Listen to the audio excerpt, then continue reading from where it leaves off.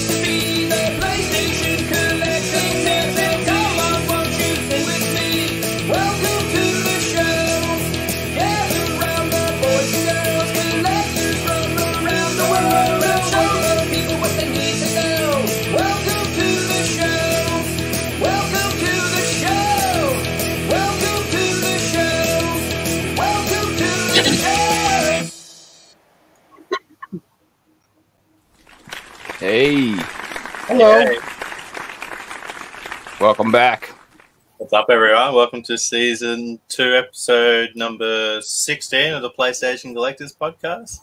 And Thanks for tonight, inviting me. Joel to the show. Welcome, Joel. Hi. Woo, what's up, buddy? Well, here for the first time. Maybe more if this goes well. I hope it does. Yeah, definitely. Joel, tell, tell, tell us, uh, everyone who doesn't know you, who you are and what you do and where you're from. All right. Well, I live in Mexico, uh, in Mexicali in Baja California, which is on the border with California. I also live in El Centro, California, which is uh, one of the cities uh, on the border with Mexico. So I have the opportunity and the pleasure of experiencing both sides of collecting on on the border, on the American side and the Mexican side. It's pretty cool. That's really interesting. We've heard a lot of um, collectors from the American side, but we've never had a collector on the show from Mexico. So it's really interesting to have you on tonight, man. Uh, so tell us about your um, video game collection. I know you've got a really impressive collection.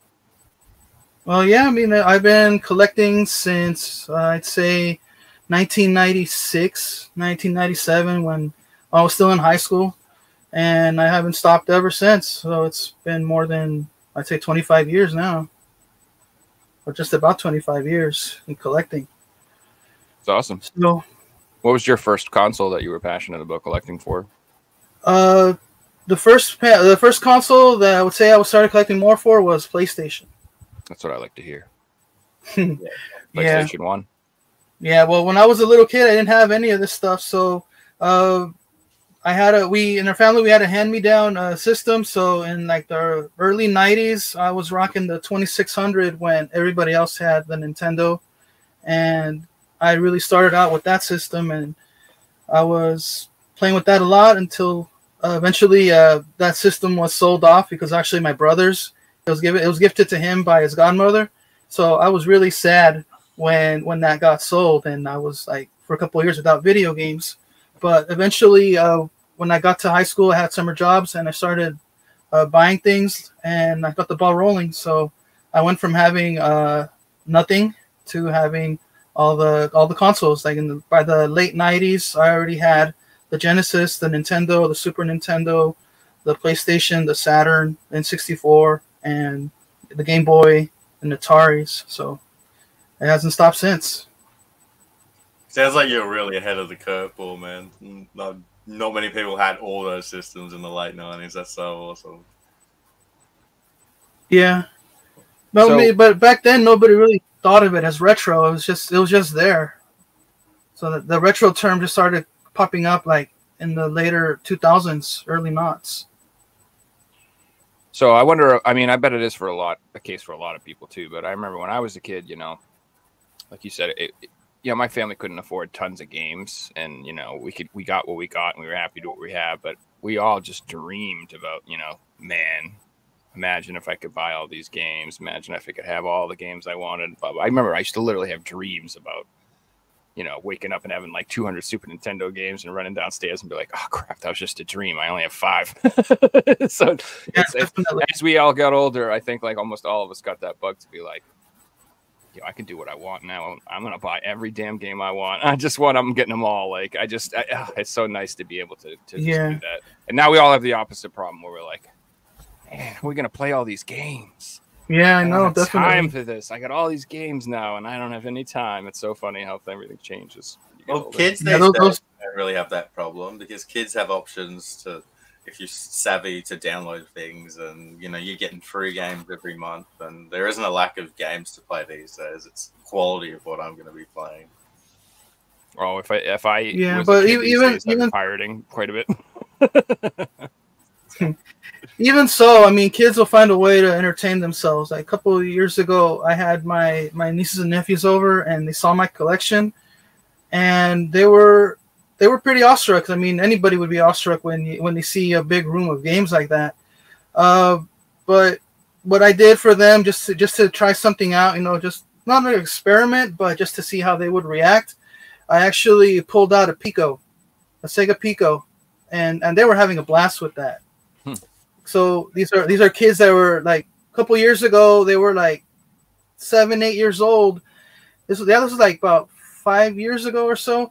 But they were having a blast with that. I mean, they, they found it interesting, you know, the big colorful system, and then those those storybook uh, cartridges, and how the pencil did whatever they wanted on the screen.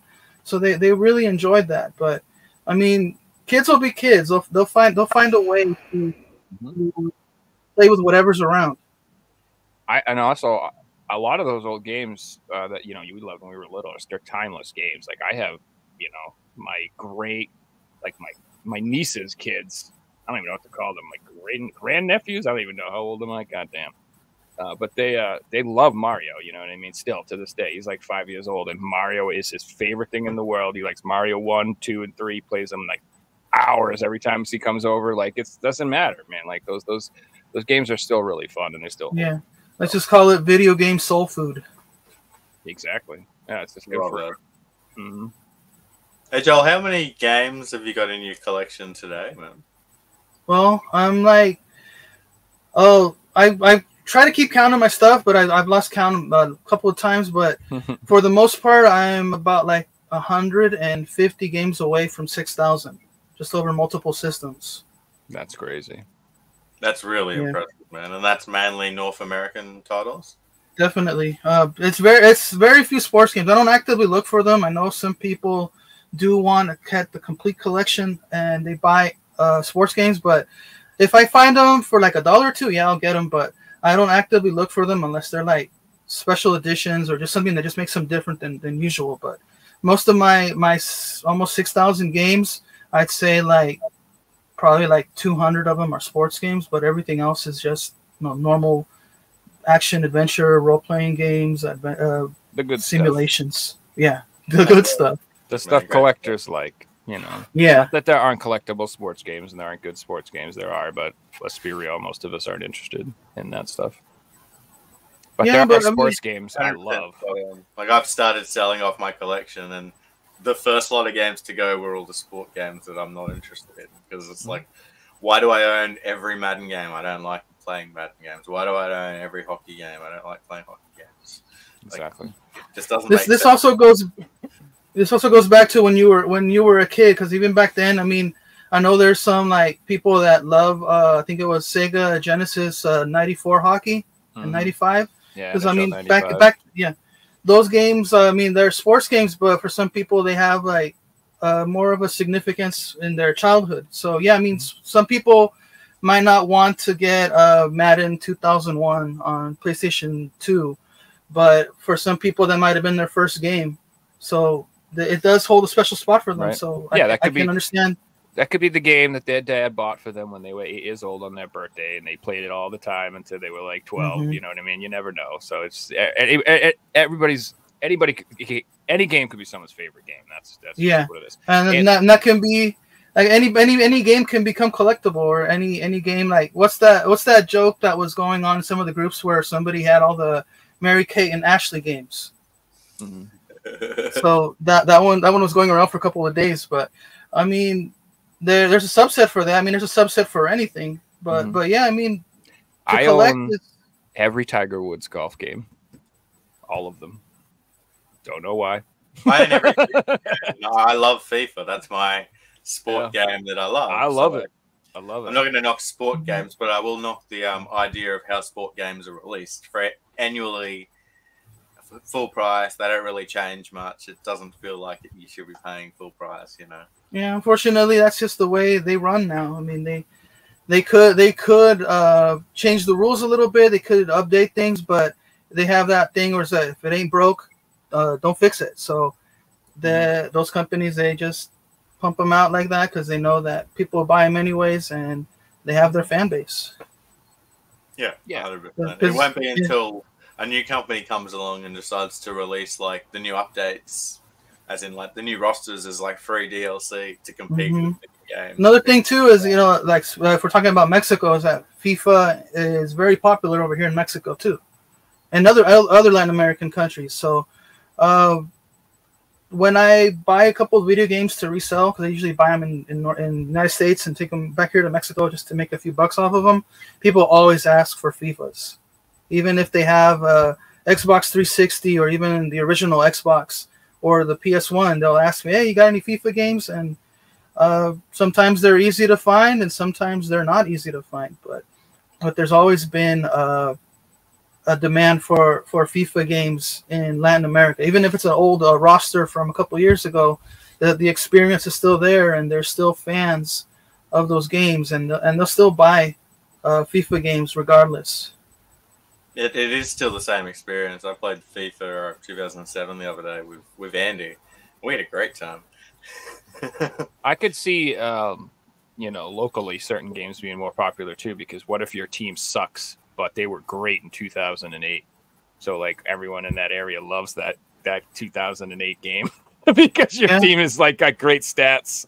Like that's Yeah. the one. You know what I mean? Like I I was a Bruins fan, so you know you take a few years where they won the cup. You know, I'm like those are probably the games I'd want to play because they're like ranked in the highest. You know, and it's stuff like that. I could see being uh, kind of nostalgic for people and the rosters themselves. Like if you love a team, um, you know, I could see you wanting to have that like memorialized because teams break up and they everyone you know gets spread out. and It's not the same Mhm. anymore, and you know how it is. So Yeah, I can understand that. It's also like, I mean, uh, FIFA and soccer is worldwide, so I know many uh, people in in the United States and North America don't really uh, follow soccer or FIFA with the passion like they do in other countries. But yeah, you do have a point where, where one year one team is great and the next year they're not that great. So or your favorite player gets traded. You know, and they were like on that team. You know what I mean? Like you could have a player that was on your team for like eight years, and then they leave, and you know, I could see that. And then we do have some. ple- My I, my brother-in-law was way into soccer. He played for like Notre Dame in college and stuff. So we definitely have people who like uh, FIFA and soccer. Trust me, believe me. there's yeah, but. I mean, but, but it's not. there- there is- doesn't have like well, the like, mass. um, yeah. It's It- like it kinda Australia. go- it kind of other goes back to that to that uh old old uh thinking you know like I'm, I'm not, I guess I still I could still follow that idea but back when we were kids you know like video games are so different from sports so why would there be a sports video game when I can play a fantasy game? So there's still that connection where people used to think oh like sports games are aren't aren't aren't for me. But I mean with years that have passed by I mean uh, sports games are are a part of video games no matter no matter what like our, our thoughts were back in the day you know trying to separate the the jocks from the nerds and now that that line is blurred So I remember being in Amsterdam in 2018 in September when FIFA got released. And I've always bought the new FIFAs every year in Australia, and it's been a big release. But being in Amst- in Europe, a country where FIFA's soccer's the biggest thing, it's number one sport. It was in every single shop, every windowsill had it. I was blown out and like how big this game was over there. And yeah, it, it would be the same in Latin American countries compared to America, where there are major sports like NBA and Madden and hockey that are more popular or just as popular as soccer. Where you know in like Europe, these other sports like handball's just as popular as NBA in northern European countries. You know, or cycling, but yeah, soccer dwarfs them. It's crazy. So for me, what's funny about sports games is like I, I growing up I always liked sports games. I played them on Nintendo and Genesis and Super Nintendo, NBA Jam, whatever. But like I, as soon as they started to get like re, like much more realistic and actually like the sport, I didn't like them anymore because like I I liked the the video game version of the sport. I like the arcadey version. I don't want to like play football and actually need to know what the plays mean. And I didn't want to like it got too too complicated for me. And so it's funny, like it, it that when you say it blurs the line between nerd and jock, like I felt like I was because like this is too realistic. I'm like, I this is too much like the real deal. I want to be a nerd. I like I want to play like my favorite hockey game is NHL Hitz. It's just three on three hockey. It's very arcadey. It's like not really Well, like NBA Jam. Exactly, NBA Jam. Exactly, like those are my favorite types of like sports games where it's is the sport, but it's more a game.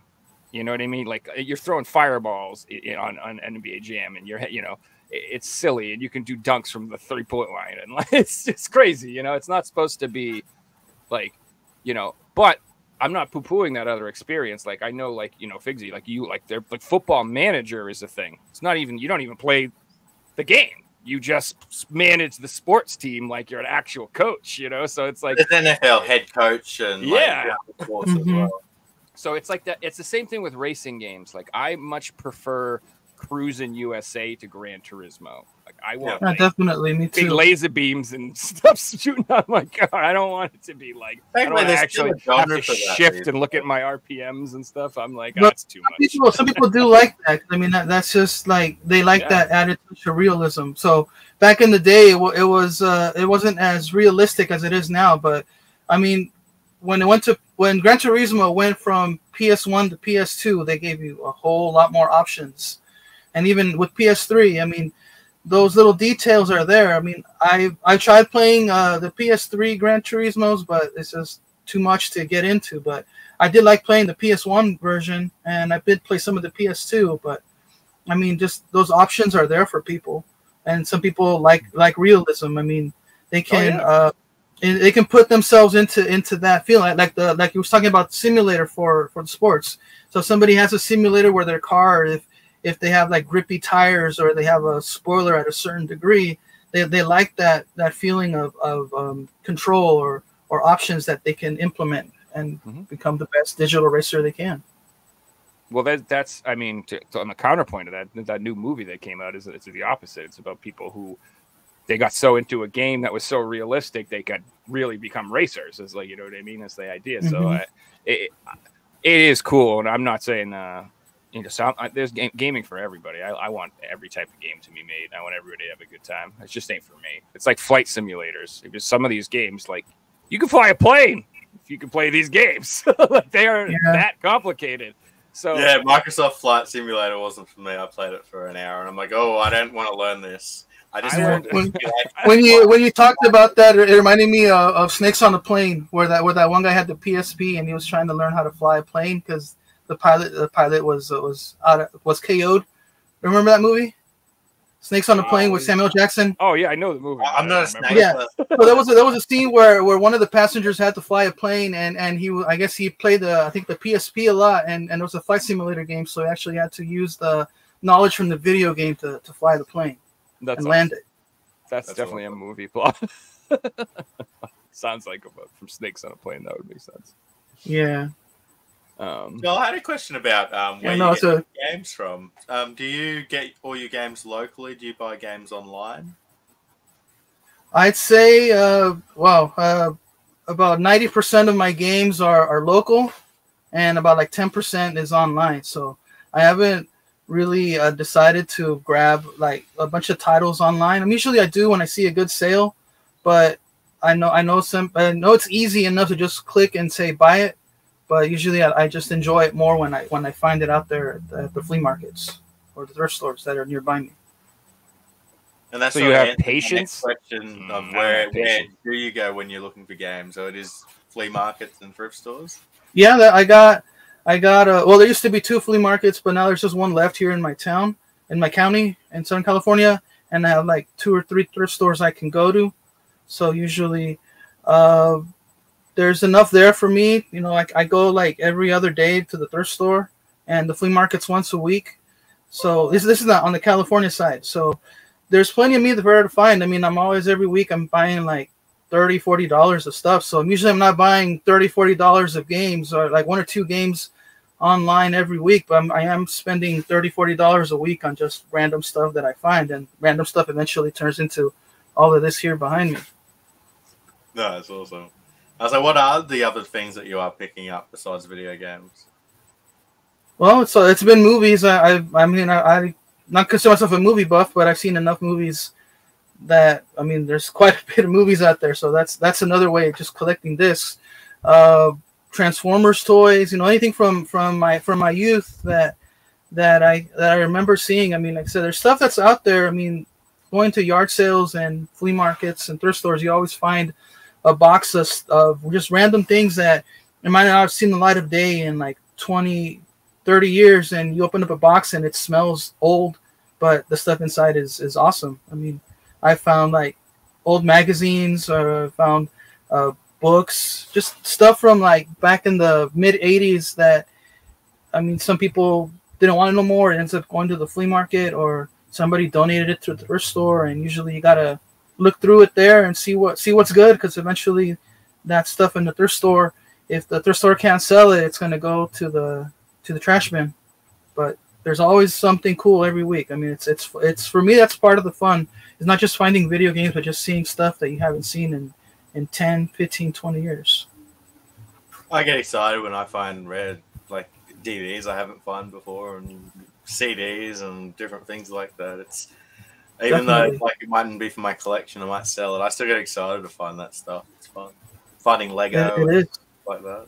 So I think it's um if you're like really into the actual like thrifting and going to people, you know, yard sailing and flea market and stuff like that, knowing about games is is great, but you really should have like a general knowledge about valuable things in general. Like you should know um, you know, like you said, like I think you mentioned earlier, like old coins, like knowing a little bit about coins, just a general cursory knowledge is probably worth it. Or knowing a little bit about toys, action figures, and stuff like that. That's pretty much. Do you guys ever watch um, Gaming Off the Grid? Have you ever seen that YouTube channel? Yeah, yeah. So they, I think I might have know, seen one or two episodes. yeah, they're cool dudes. They they do like a lot of thrifting stuff and like buying and yard selling and stuff like that. But like I remember they, they did a video where they they they found like these little plastic hats that were on wrestling figures. And they sold them for like I can't remember, like 25 bucks a piece. These little tiny plastic hats because they just knew that those were the hats that go on these little wrestling figures from the 90s. Mhm. And they made like 50 bucks off of these little tiny pieces. Yeah, those are the first things that So- get thrown away. Those are the those Yeah. are the things at the bottom of toy boxes that once you pull out the toys and you look down at the bottom, it's just little chunks of plastic. Most people are Yep. going to say, "Nah, it's trash." But if you know comes to how to look, it's going to be good stuff. The little plastic gun they hold is worth money. The little thing that clips on G.I. G.I. Joe- G.I. Joe, money. uh, all the little pieces and stuff that pop off and fall off. Like if you, I went. you have I had a really um, good, Good score on. Remember Teenage Mutant, um, Teenage Mutant Ninja Turtle toys from the late '80s, early '90s. So a lot of them came with weapons, and Mm-hmm. the weapons get detached from the toys. So I, I had a bag of weapons at the pawn shop, and they sold for a fortune. It was like fifteen dollars for one or two little toys, uh, one or Yep. two guns. And it's actually more than the figure itself. Uh, Yeah, but working- Exactly. someone can spend years trying to find that little piece, so that, that that that right there, you just saved them a bunch of time. Yeah, hundred percent. I was going to say about working in the pawn shop, I learned uh, not just what items were, but how to look something up. So a big tip that I use, and um, you guys definitely take this on if you've never heard it before. Um, but everyone's phone, if you've got an iPhone, you might have to download. it, But if you've got an um, am, uh, Android phone, you'll have it on.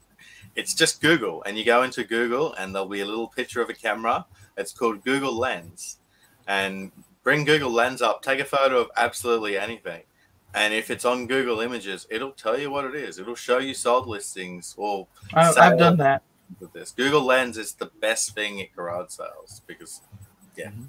and you never know, man. Like, um, like concert DVDs worth tons of money. Some of them, like I, I'm into death metal like a lot. Like I'm a huge into like you know heavy metal and stuff from the '90s and the 2000s. Some of those CDs and those like live DVDs, they worth a fortune, dude. oh yeah, So if you if you just know music and stuff and just you're popular, you know, just that I could make a bunch of money just flipping CDs and stuff. So it's good. I, I've done that. I've done that before too. A couple years ago, there was a store called uh, oh I forgot the name of it, but um, uh, Hastings is what it's called.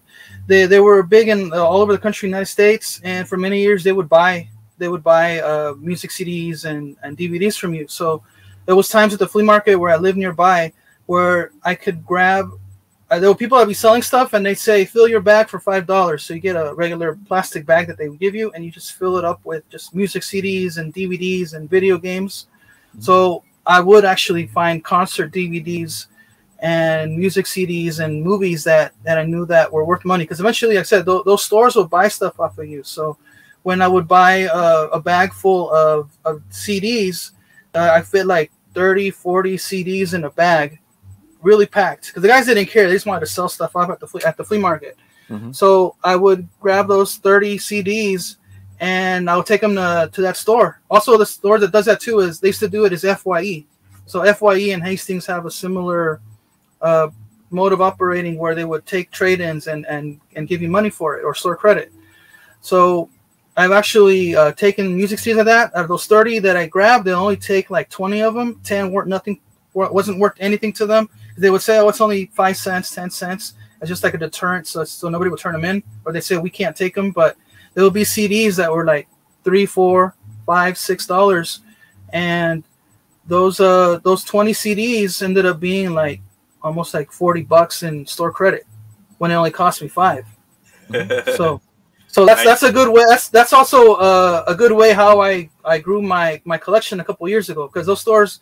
Uh, well, Hastings went out of business a couple years ago, but because of you. FY I'm just kidding. I'm well, just kidding. that, that, I've I've heard that joke already, so that's nothing new to me. But I mean, uh, All my jokes are old. I got I got a time you met bunch of, of PS2 and PSP games, taking them to FYE and Hastings back when back when they were kind of expensive because Hastings they knew they knew their stuff was like a little bit of expensive, but if you had trade-ins, you could still make a good buck off, off of stuff. So I would, I said, I would buy a five dollar bag of just random media, take it to that store, and I get forty bucks. And a couple years ago, well, not, not a couple years ago, this was like probably like 2005, 2006. I, I took uh, my stuff to to resell to Hastings, and I ended up having like almost 200 bucks in, in like five or six different uh, store credit gift cards, and ended up buying a PSP with that. From five dollars. Yeah, it. so I most I more more likely I spent like maybe like 50 bucks in, in just random flea market stuff. I pulled the stuff I wanted, and then the rest uh, got traded into to those types of stores, and I ended up getting a, a PSP for like I just paid taxes on it, probably like 15 bucks in taxes. I love it, man. Hey, Joel, I wanted But- to ask you about um, brick and mortar stores in Mexico that sell video games. What options do you have to buy new games these days? Well, unfortunately, in Mexico, games are expensive.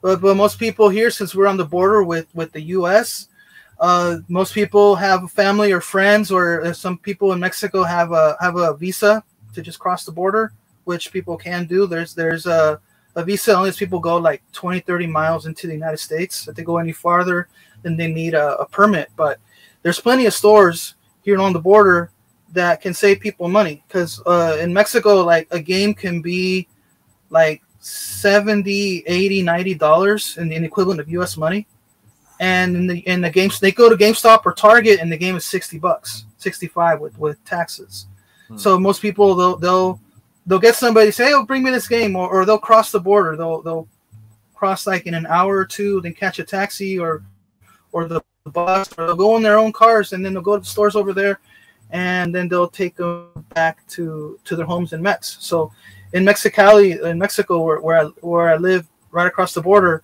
there's a, a lot of influx of games from the U.S. where people can get games uh, pretty cheap.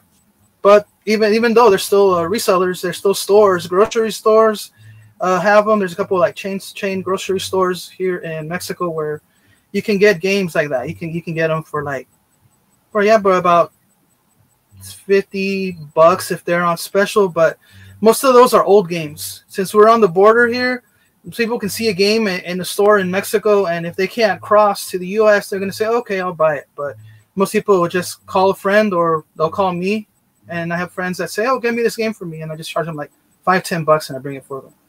But some games uh, are expensive, but people sometimes don't don't have a choice. But since we're here on the border, there are more choices than just simply buying from from a Mexican Walmart or another uh, grocery store chain that, that does have them.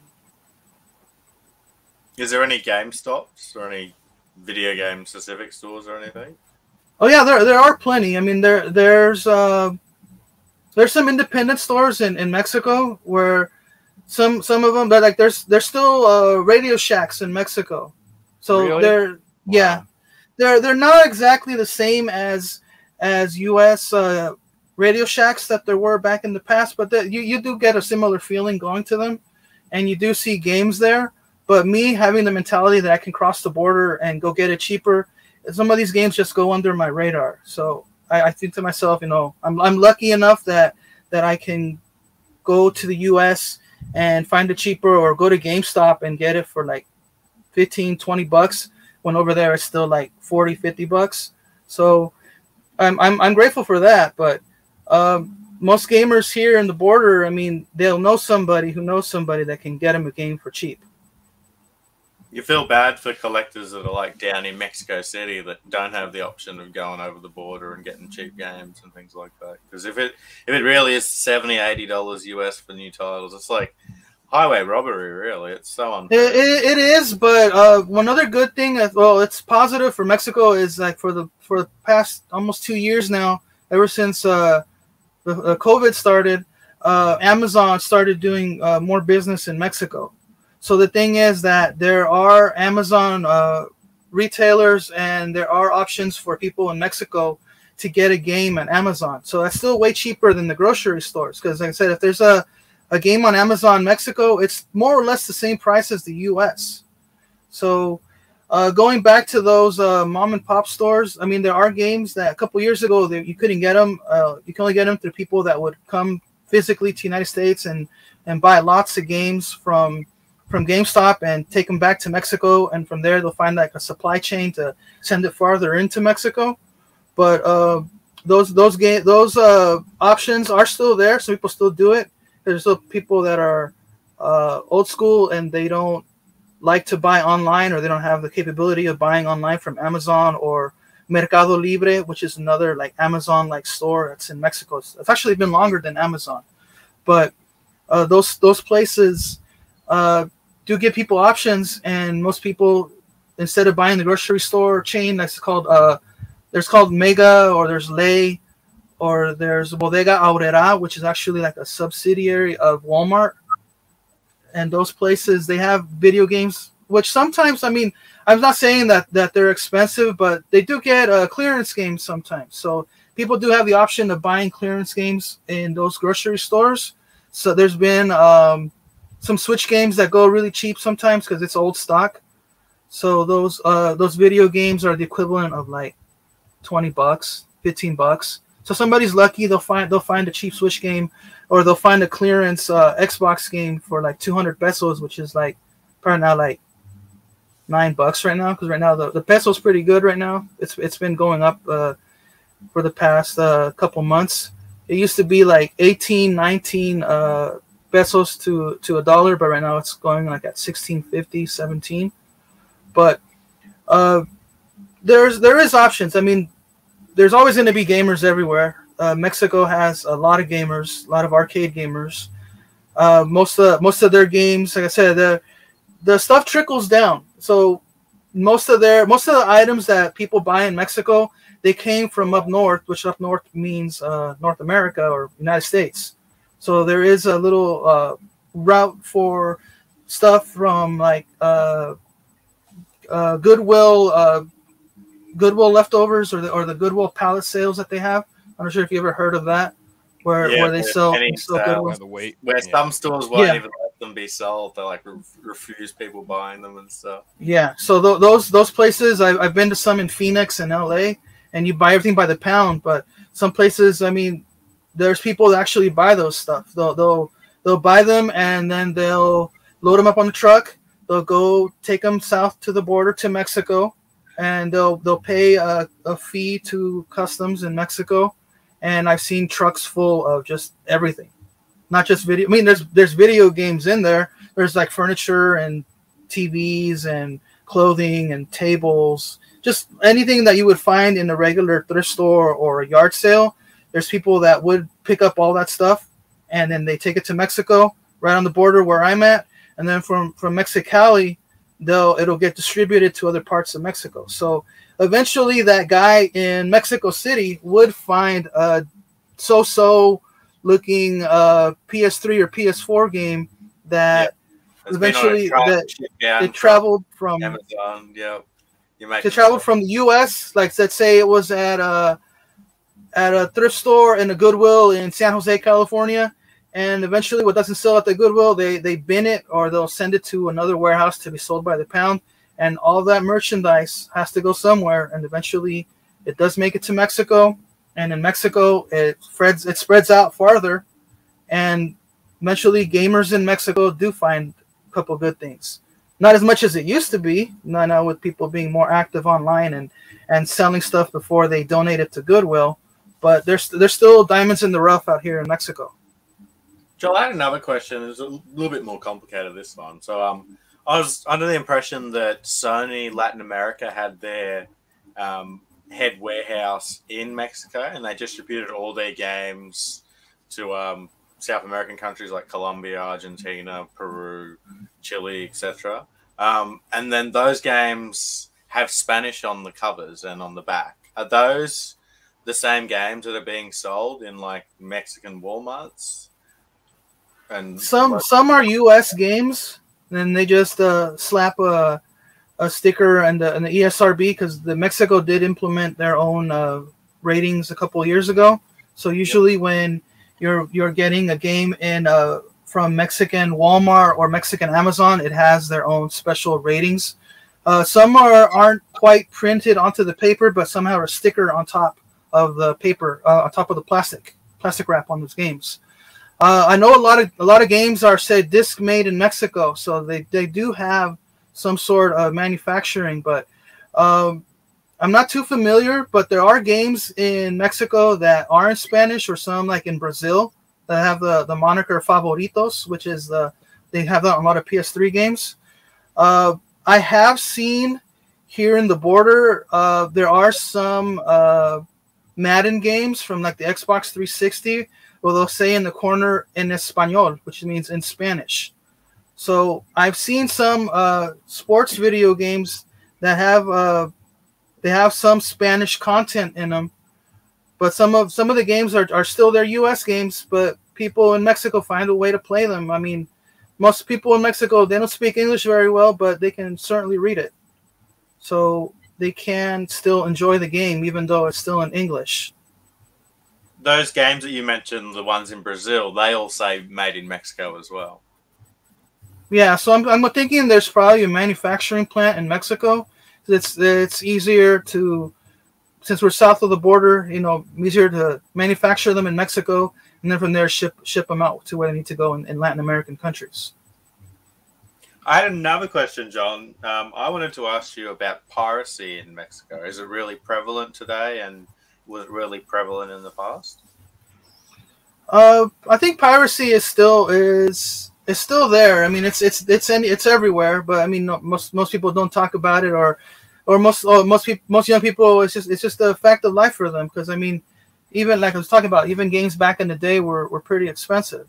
So uh, most people they just uh, find a Wii, find an Xbox, a classic Xbox, and they they hack the hard drives or they put something on the SD card, and they'll play all those games, or they'll uh, go on an Android and just load them up with ROMs, or even on PCs. I mean, I, I know uh, in Mexico there's a lot of people that li- uh, that like Fightcade, which is an online uh, fighting game uh, repository where people can play video game uh, fighting games with each other online. So I know I know a lot of people like to do that, and I know in Mexico and other Latin American countries there are people that have uh, hacked uh, Steam accounts or they have uh, Steam Steam games that can still play online even if you're not connected to it. So I know I know there's Steam games that that can't play can't play online, but they, they, they still have connections online. But even though you don't connect them to the internet, they still play. But I'm think people have a way to circumvent that and they can play games online while using uh, a deactivated account or using an account that that is uh, modified in some way. That's it's awesome that it doesn't. We've had a lot of collectors on here from different countries, and a lot of these countries have got really expensive video games. And there's always gamers always find a way to play games. It doesn't matter what country you're in, or you know if games are banned here, or it doesn't matter. Gamers will find a way to play their games. It's awesome. Definitely. So So you, gotta, that, you gotta do what you gotta do. I like, Yeah. I've been playing a lot of like PS1 imports lately that there's no way I'm ever being able to afford them. And so, you know, you gotta do what you gotta do. But yeah. I'm having fun. Well, I mean, li- like the the the easiest systems to hack. I mean, everybody knows they're they're Nintendo consoles. I mean, you can you can get a ton of games on an R4, put them in a in a 3DS or a DS, and you can pretty much play anything on those. Mhm. But most people, I know, I know they they'll still play on their Wii's or even a hacked Xbox 360 with with just burn uh, GTA 4 or GTA 5 on the 360 in Mexico, and there'll be a lot of kids and young adults having fun just playing uh, copied games on on an Xbox.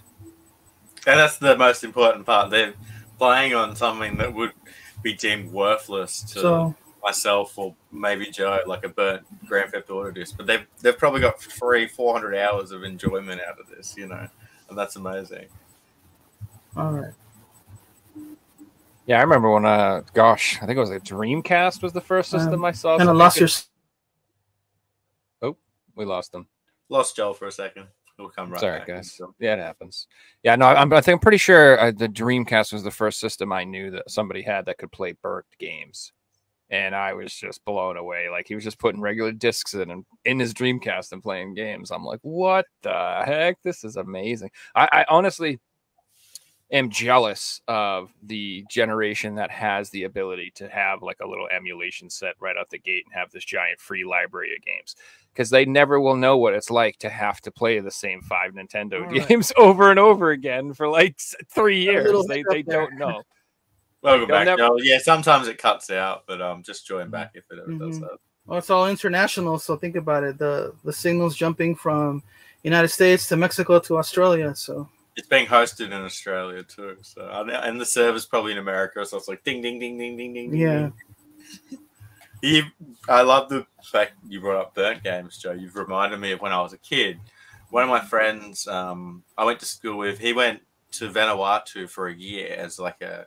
I think his um, mum got a job as a teacher over there, and when he came back, he had a PS One from Vanuatu, and it was hacked, and he had all like he had 200 games, and they're all burnt, and they only worked in his system. And I'd go around there and play all these games, and I didn't understand why I couldn't borrow them. And I borrow. He lent me one once. It didn't work, and I'm like, it didn't work. He's like, I told you how you have to play it on my system, and like I would always just want to go around there because he had all the best games. And Mhm.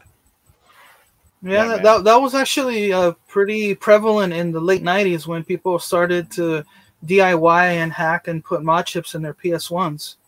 I think that's that's that's the that's also a reason why PlayStation became so popular because it was uh, really easy back in the day for people to uh, apply a, and solder a mod chip to their PS1 to play any type of game. And usually in the late 90s, you you could burn a game like in five ten minutes. Now it takes like a minute or two. But I remember in the late 90s, it would take like 20 minutes to do an audio CD. So I know back then when you had a burn PS1 and and copied PS1 games, you were you were the top dog because Mhm. it took you a while to burn all those games and if you had a stack of 30 40 games that means that you had a somebody with a, a decent computer back in the day that could make copies of, of those games for you yeah, you're right. Like it was easy to burn CDs. I used to make CDs all the time, and like even I bought um, CD cases, and I would print the artwork out with the track list, so it would look like a legit CD.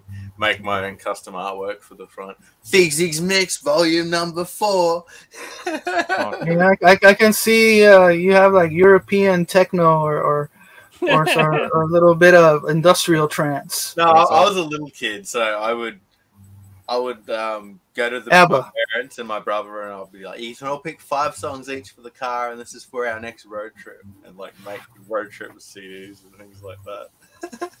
Yeah, oh yeah. yeah. I had, I had I had a friend that would do that for me too. I mean, he, like he had like back in the late '90s, he had his computer and he would make CDs for friends. And he charged people like three, four bucks. So he'd, he'd make he'd make he'd make a little bit of money just saying, "Oh, I can get you this music." This is like in the late '90s or 2000s with like LimeWire and Napster. Remember those? Mhm. Yeah. So, so tho- those those sites, you know, when the beginning of when internet started getting more more prevalent, I mean, you could find a lot of stuff back then.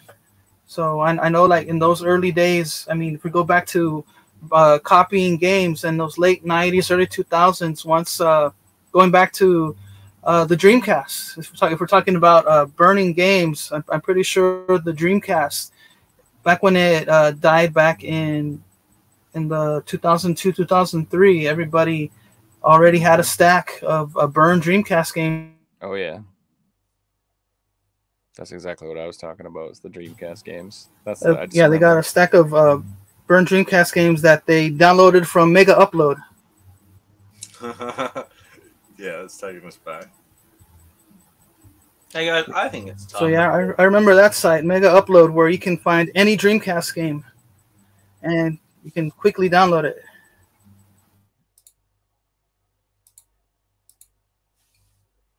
Joel's internet's struggling a little bit here, guys. Joe's frozen as well. Maybe it's me.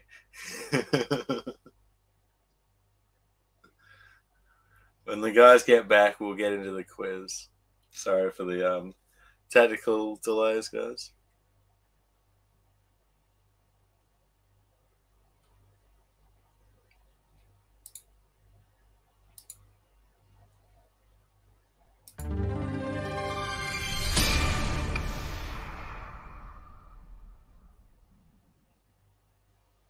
Joe's coming back.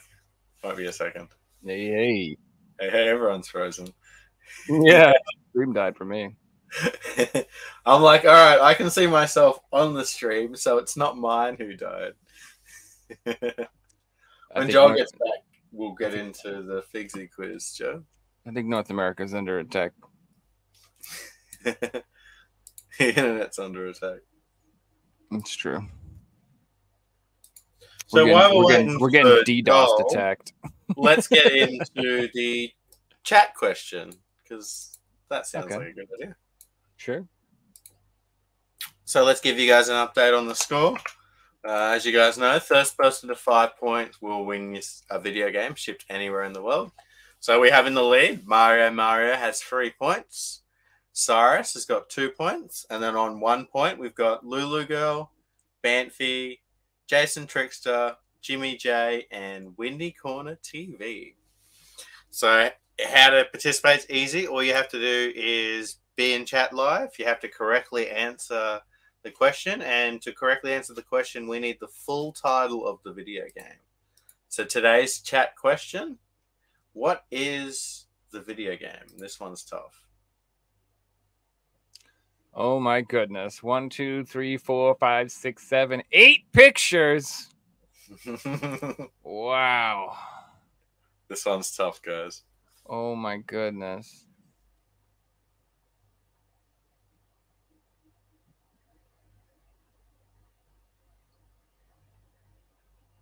If you are watching on um, listening on uh, on iTunes, uh, unfortunately there isn't video on iTunes. There is a video on Spotify now, but um, if you want to see what's going on, jump onto YouTube and you will be able to see the chat question. This is a tough one.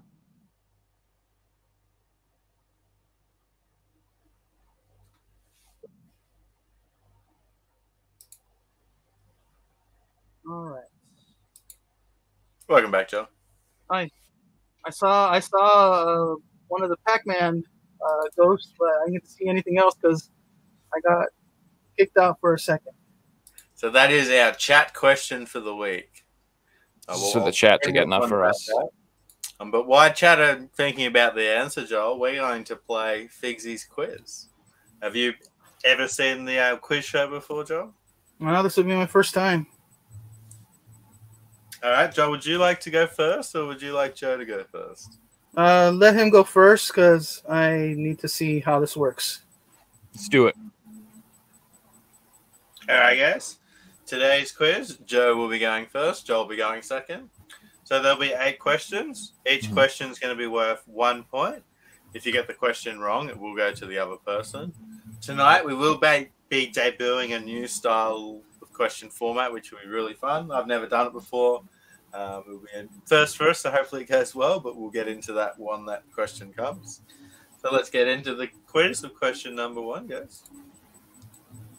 So, question one, this one's for you, Joe. All right. Who of the Dead or Alive characters is the uh, is the owner of the island in Dead or Alive Extreme Beach Volleyball? Is it Zack, Bass Armstrong, Leon, or Tina Armstrong?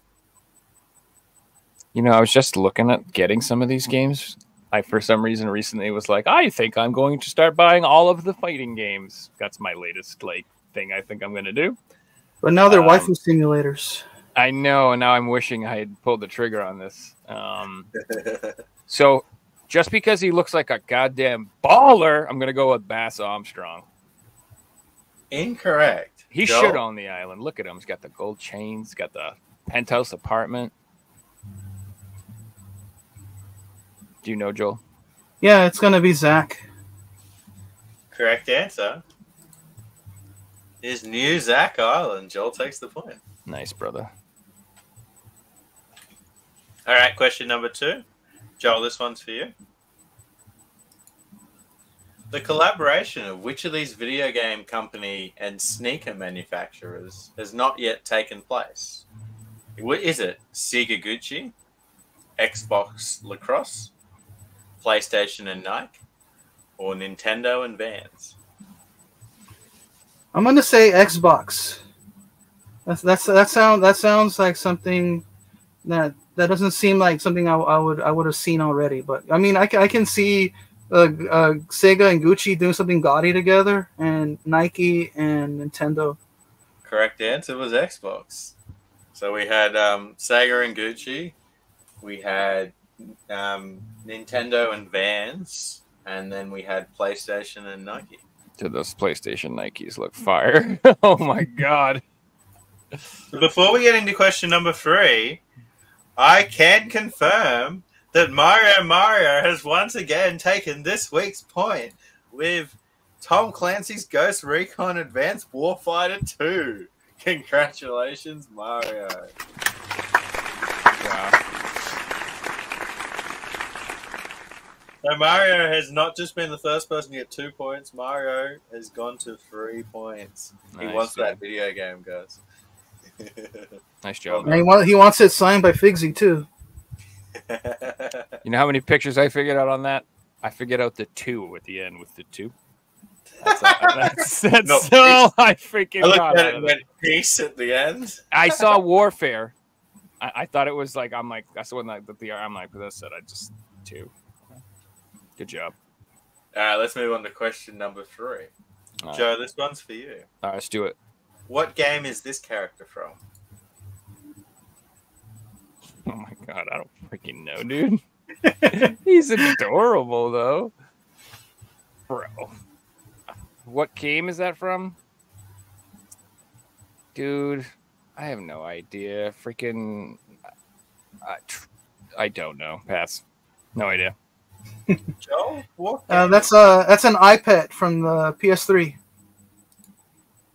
That is Oh my from God. the PS3's EyePet. And Chad have just informed me that um, Mario Mario wasn't actually the first person to get tonight's answer. It was the collectionist. So I do apologize, but the collectionist takes the point. Well done, collectionist. The rivalry started. Yeah. Well, Mario is the one who actually. Hey, it wasn't me, Figgy, so thanks, Mario. I didn't notice that. And I do apologize, guys. So Mario's got two points. And Collectionist takes his first point. Well done. And let's get a score update on tonight's quiz. So we have Joel in his first ever quiz is off to a great start of three points. Joe is yet to get off the board. Whatevs, dude. All right, question number four. I'm here to And look this pretty, one is- all right? I'm, I'm not. I'm not smart or nothing. I got beginner's luck. Dude, no, you did. I thought you was good. You knew what that stupid little fuzzy thing was. That's amazing. Yeah, and that's actually I think it's a sequel too because I The think they Dead or- previously. the dead or alive thing, I feel like I could have possibly known that. I was no way I'm knowing what that little Furby looking thing is. what the fuck is that? All right, question four, Joel. This one's for you. What superhero was a playable character in Tony Hawk's Pro Skater 2? Would that have been Spider Man? It was Spider Man. This is rigged. All right, guys, that's the end of round four, and Joe's Joel's taken himself to four points. Now, this next round is going to be a new style of round. Just to quickly get myself ready for it. We've never done this before, so hopefully this works.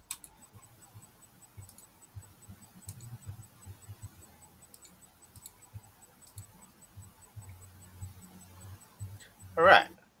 So the way this is going to work is I'm going to read the question.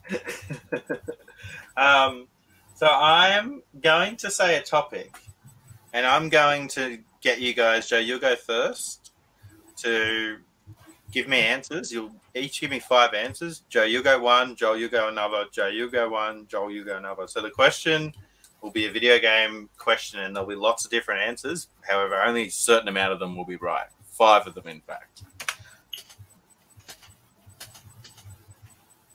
And whoever can get the most answers wins the point. Uh, so, Joe, you'll be going first. So, tonight's first question is based on information from Wikipedia, what are the five best selling games for the Xbox 360? Joe? Is it 360? You just have to guess one, and you'll get five guesses all up. Halo 3. Not on the list. Joe? Uh, Call of Duty Black Ops. On the list, and it was number five.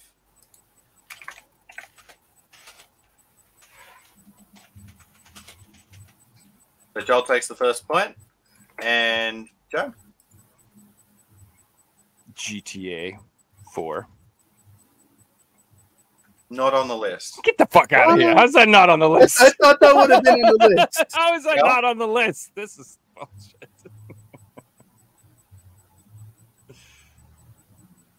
All right, so I'm about to go one more and say GTA 5. GTA 5 was number two. This is rigged.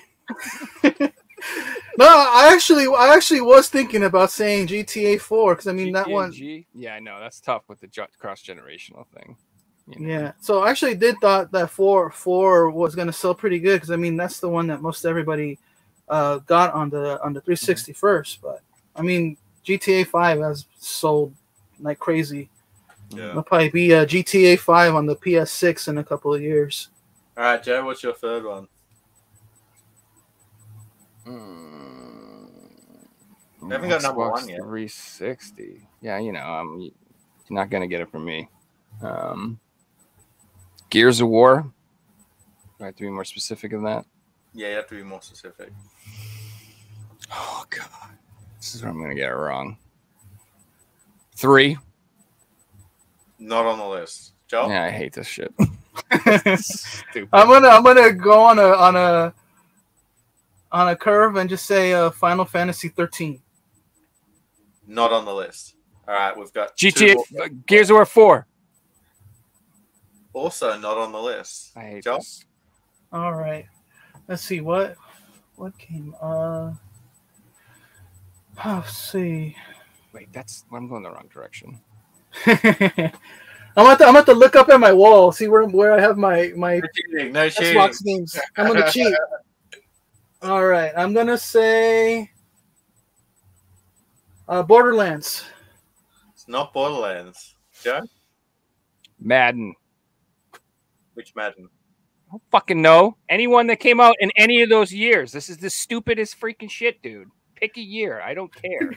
No Maddens are on the list. And Joel? All right, let me let me look up again. Uh, Final Fantasy 13. Not on the list. So Joel's takes two points from this round. The correct answers were in number one, Kinect Adventures. God. Number two was Grand Theft Auto 5. Three was Minecraft, Xbox 360. Four was Call of Duty, Modern Warfare 3. And then Okay. five was Call of Duty Black Ops. And then there was just more Call of Duties. Okay. Well, and I know uh, Minecraft sold like the Dickens too, because I mean that's that, that's also that people actually ask for that a lot when in in Mexico. People when I put my my little garage sales, yard sales up, people always put on Facebook, "Do you have Minecraft for the Xbox?" And I don't really get that game that much because it's still like a 15 20 dollar game even even used at GameStop. Minecraft's one of my best selling games. I always bread and, bread and butter seller for me. Well, Right, let's, let's see how long it lasts with, with the Xbox shutting down in a year or two. Question six not- is going to be very similar. Joel's going to go first this time. so how many points do I give Joel for that round? One or two? Uh, two. We'll give him two. Every every one you get, we'll give you a point. Gotcha. Um, okay, so question six. I'm going to ne- get you guys to name the five best-selling fighting games for the PS3 according to VGChartz.com. Joel, Uh, so, me or, or Joe? you go first. Joel. Oh, me? Okay, I'm gonna say uh, Tekken Six. Tekken Six is number two.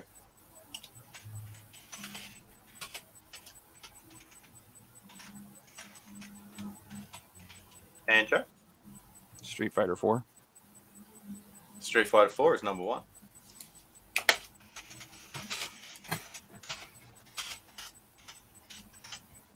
Go.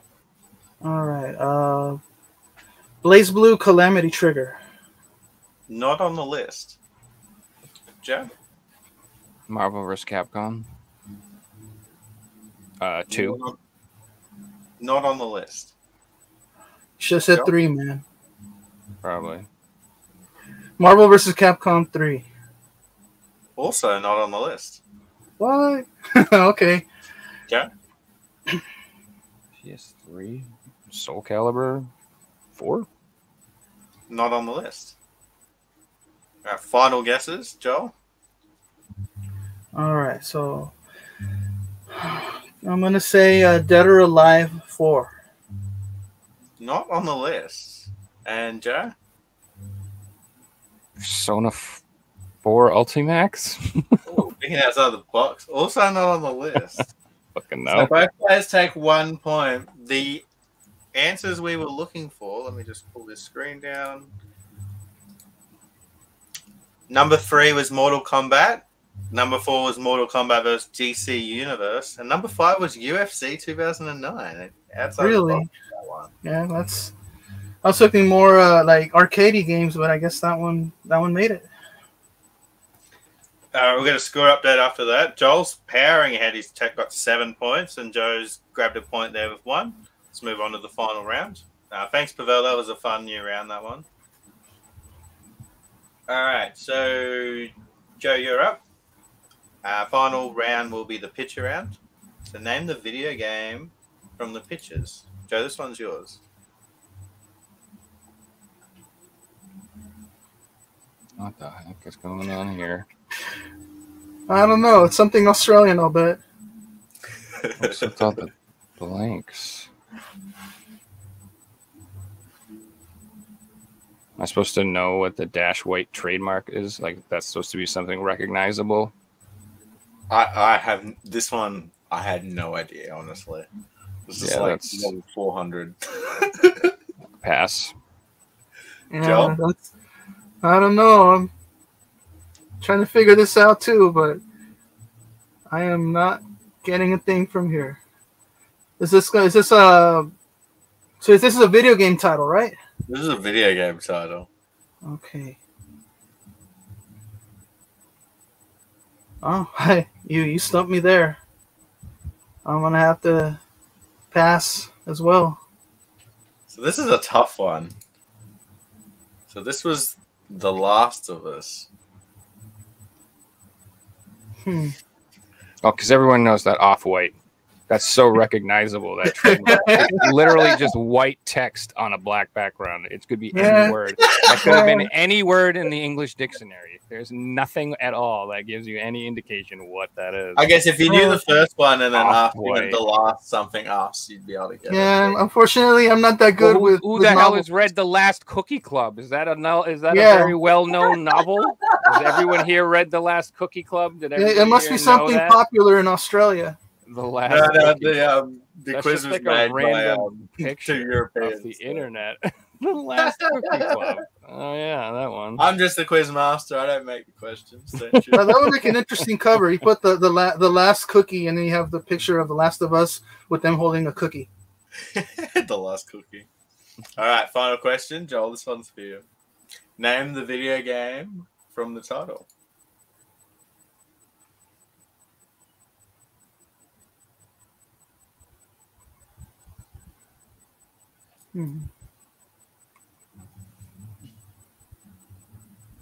So one of the Resident Evil viruses is either the G or the T virus. We got some. I'm gonna say, well, these are hookahs or bongs. Mm-mm. That's a bar. Those are taps. Oh, those are taps. Ah, okay. Um, I'm gonna say, um, hmm. So we got. Oh, Oh, I got it. I'm not. I have no. I have no. I. I don't get it. I'm gonna pass. Oh, oh. What do you got, Joe? It's PUBG. It is PUBG. Joe gets it. All right. That was a tough. That was some tough questions at the end. It is. That is. was a fun new I did round. great. Although, although I said I'm, I'm not. I'm not. I'm not one to to condone or, or deny people, but I mean, like they did, did look like like uh, glass bongs there. So I'm, I'm not. I'm not one for drugs, but I mean, it did look. It did look like that for a second. In his first appearance on the show, Joel's taken the win. Congratulations, Joel. Thank you.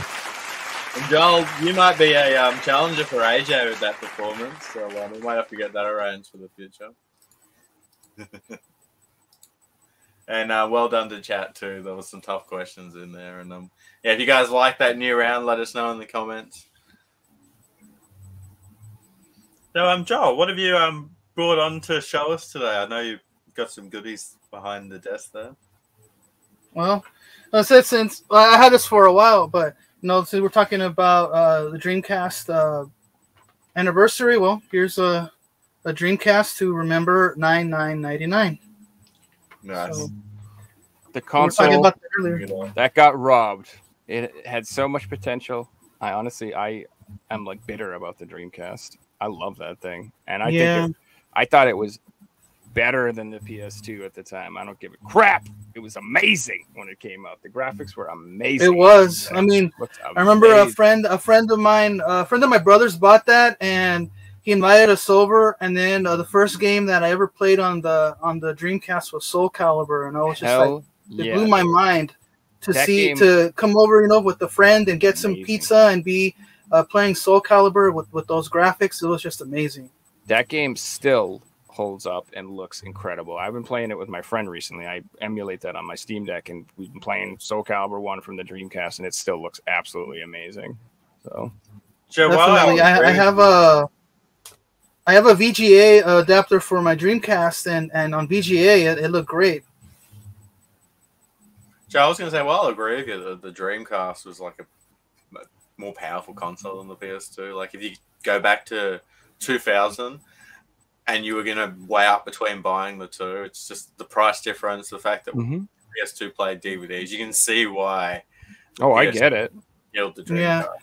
If if uh, if Sega could have held out one more year and find a manufacturer to give them a, a, a DVD drive into their Dreamcast, that would have just changed the game.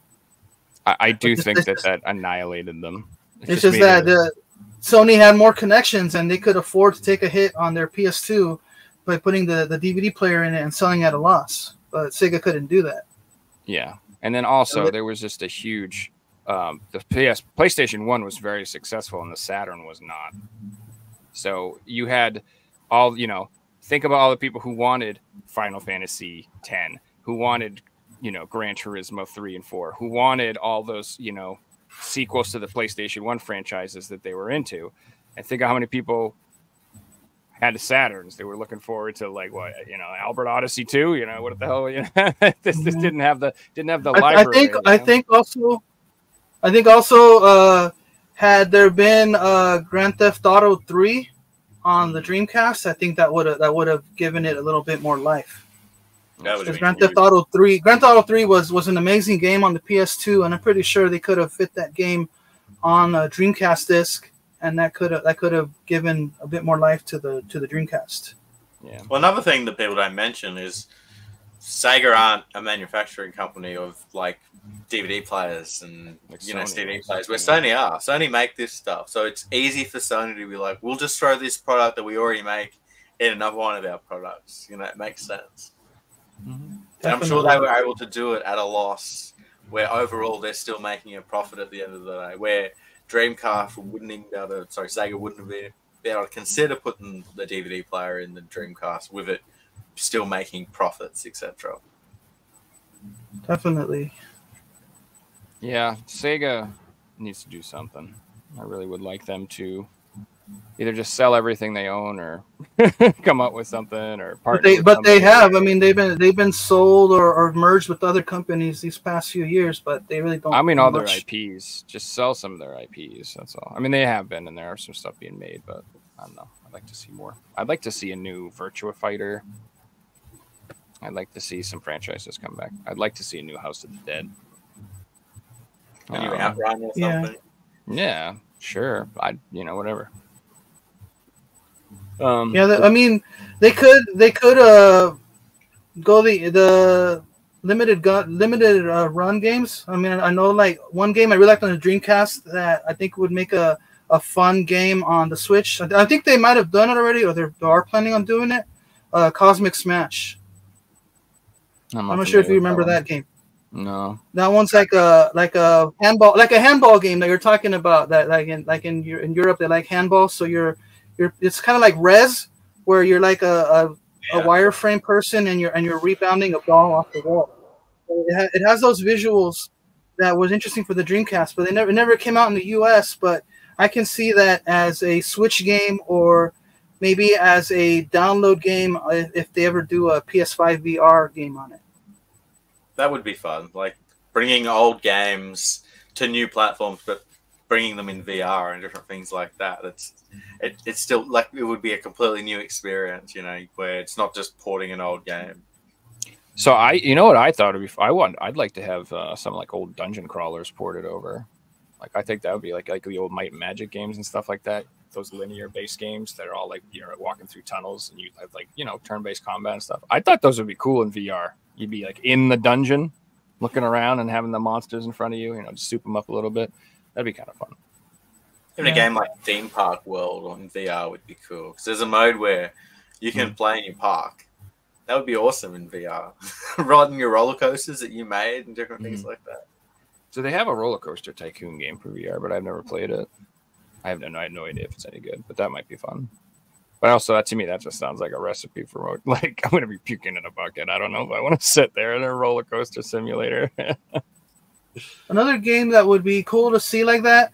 I mean, not not to like go into like tragedies and all that, but uh, a Titanic game where you can actually like be in the submersible and actually be like seeing the the the, the whole VR motion going around the ship. I know I know there's been uh, lots of pictures taken in the past of the Titanic before the the accident that happened a couple months ago, but I'm pretty sure. Well, now it probably won't happen now with the tragedy of the people that died, but it would have been interesting to see a VR game where you can actually like be in the submersible and you can actually like Mhm. drive around the wreckage of the Titanic and just looking at how that would look like from from the perspective. Even from the other perspective, a VR game, and this might be bad touch, but a VR game where you're actually on the Titanic when it hits the iceberg and you going through that experience, that would be really interesting, right? Yeah, it'd be Yeah. terrifying. You could start as like different classes on the boat and try and survive and different things like that. It sounds sounds interesting, you know, like when the boat's fully like vertical in the water and different things like that. So they have. Uh, Yeah. Do you know that Quantum? I think it's Quantic Dreams or whatever. The people that made Detroit, Detroit Becomes Human and um, Heavy Rain. You know that company? So they just they just came out with a new game called Under the Sea. I think it's called, or Under the Waves or something like that. I I don't know. I don't remember the exact name. I think it's Under the Waves, but it's a it's like a story based experience where it's you're in a submersible and you're underwater and you're doing stuff like that. So it's not exactly what you're talking about, and it's not in VR. But if you do want like a cool game like that, I would check that out because it does look really good. And those that company makes quality uh, titles if you like those story driven experiences, which I really do like games like that. So Hey, Joel, I wanted to ask you what games you've been playing and what are you playing at the moment? Well, right now, uh, I'm playing uh, the Advance Wars on the Switch, Oh, nice. and I got. I just recently purchased. Uh, I've been playing a lot of Switch lately, so I've also uh, got Rhapsody, which are the. It's like an old style uh, musical RPGs, kind of simplistic but still kind of fun. They're, they're the originals uh, series that it was based on. So those are uh, it's a compilation. It's got uh, two games on it on one cartridge. One's a PS1 game that and one's a PS2 game that were previously in in Japanese, but now they got an English release. And what else?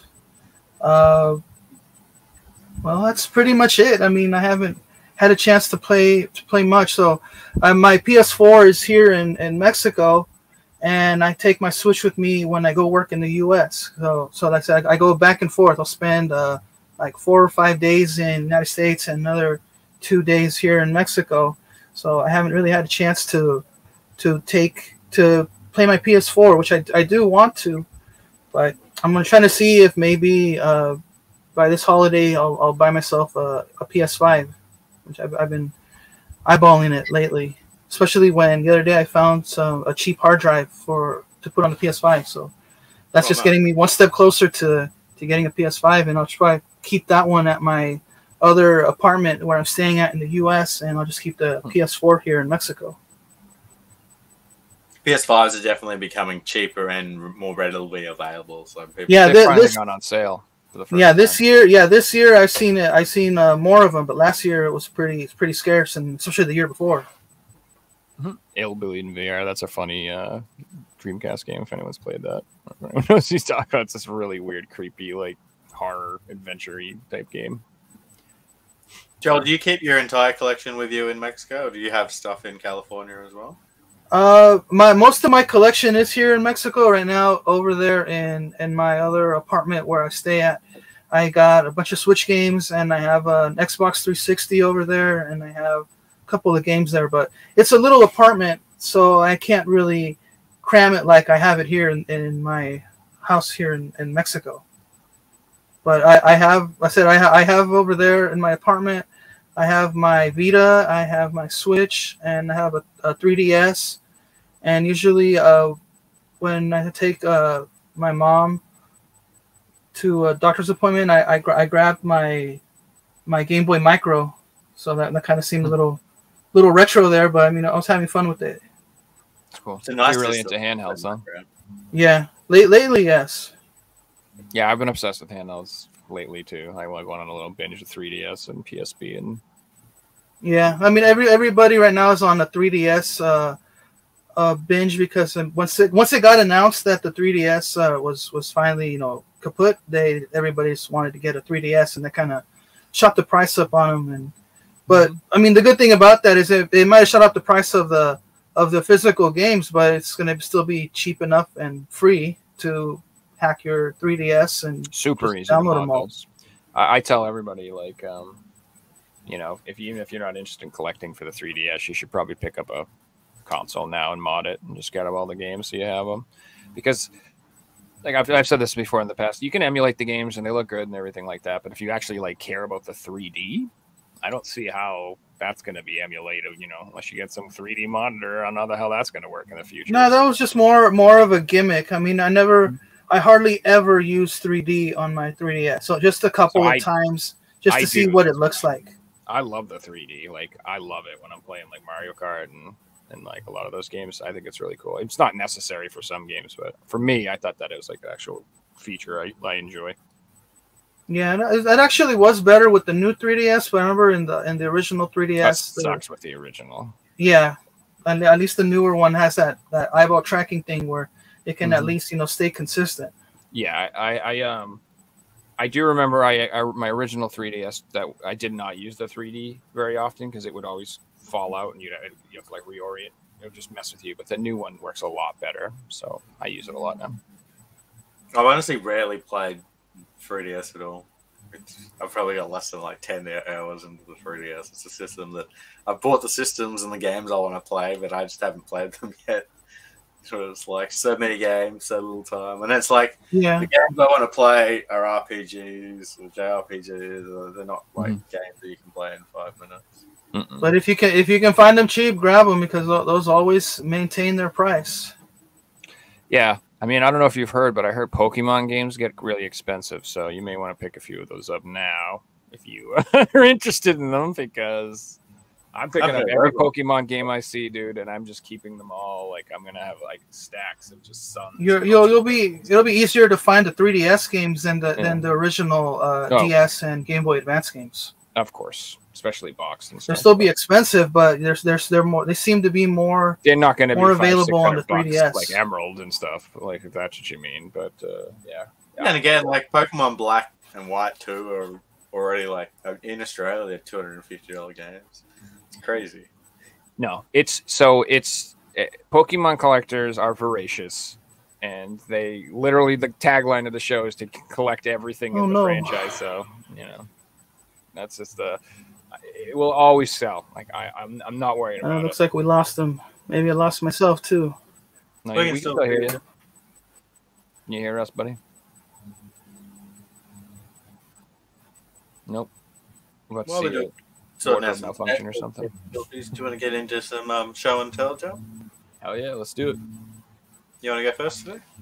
Yeah, come on, yeah, let's do it. We doing the funny picture? No. Uh, no. Okay. we did a better picture, man. So I'm losing you guys. It's all right, man. Just give it a minute. It'll come back.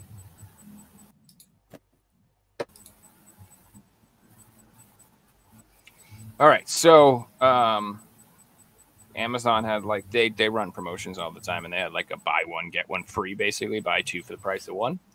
And so I grabbed this. It was 19.99, and I got so I grabbed this. I've been meaning to pick this up for a while. It's the JoJo's Bizarre Adventure Battle Royale R, um, or All Star Battle R. Excuse me. So, like I said, I don't know. Recently, I've just um, I've been having lots of fun playing Soul Calibur with my friends. So I started playing a lot of Tekken and stuff again. And I don't know, I just kind of had the fighting game bug bite me, and um, I figured I'm going to pick up some some of the fighting games for PS4 that I want. So I grabbed this one. It's the first one I grabbed, and then uh, second game I got with it was Astro Knight on PS4. I don't know if you're familiar with that game. It's like a little 2D action platformer type game. No, It's a really good game. It's a good game. Um, and uh, so basically, I got them for nine ninety nine a piece. Can't go wrong. Please, Yeah. with that purchase. Especially for a JoJo's game that used to be like $100 on the PS3. Yeah, that's what I'm saying. And, and so yeah, and there's there's another JoJo's game I think too, but it's not a fighting game. I think it's like a uh, Heavens All Night or something like that. yeah. I saw. The, I don't know. I'd have to do more research. I thought it was a fighting game. Maybe it is. I don't know. I don't know. When I looked at the the back, I didn't watch any videos or anything, but I don't know. What am I doing? I have played that game you just showed, and it is a heap of fun. Ah, sure. Um, Um, all right. hey, Welcome welcome back, back. And then uh, the next thing I picked up is uh, Ghost Song. Ooh, Humble Games. cool. One eye. Um, yeah, so it is. I don't know if you can see the artwork very well, but it's it's a 2D Metroidvania type esque game, um, heavily inspired by Super Metroid specifically. So, like the art style, I mean, it doesn't look quite like that, but I guess like the mechanics, like the way the character moves and then runs and stuff like that, I, it, it looks very similar to Super Metroid. So, if you like the feel of that game, I'm always down for those Um, types of games. I love these games. I know a lot of people say they're sick of these little like Metroidvania 2D action games, but I can't get enough of them. I freaking love them, and I'll take them all day. I love those types of experience. Well, they're usually really reasonably long. That's what I love about these games. They're fun, but they don't overstay their welcome. Usually, like I mean, you know, like 20, 30 hours, you unlock everything. You can you can move on with your day, and then there'll be like you know a few unlockables you can go back and do if you want or something. Yeah, an, an easy way to for them to, to get more hours out of you is just to backtrack. So that's kind of the major letdown Yep. of those types of games. Yes, and then there's always for me as always this. There's I inevitably in every one of those games at some point I get stuck. Always I go, where am I going? Where am I supposed to go? What do I? Oh, I got these magic blue shoes, but what do I do with the blue shoes? I don't remember. What do I need these stupid things? And I spend like an hour trying to figure out what to do. So that always happens, and I get frustrated. But that's also because I take breaks.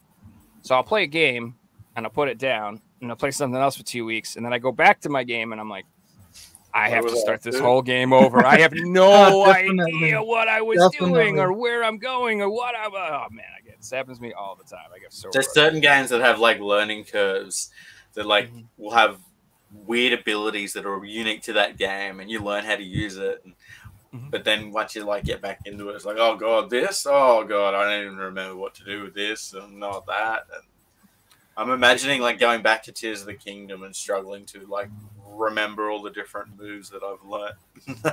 Yeah, I bet. Yeah, exactly. So you'll in like a few years you'll go back and be like, how do I build anything? Yeah. I don't remember. It's just I'll, like- I'll be in combat and I'll be like, why am I struggling? Oh, that's because I've got all these abilities that I forgot how to use. Maybe it's uh, for younger people that can memorize those things quicker. Maybe we're just getting old. that could be it. Facts hurt. So this one, um, I mean, you shouldn't be surprised about this. I mean, I'm I'm the fucking Evil Dead hat. I got Evil Dead stuff. all over.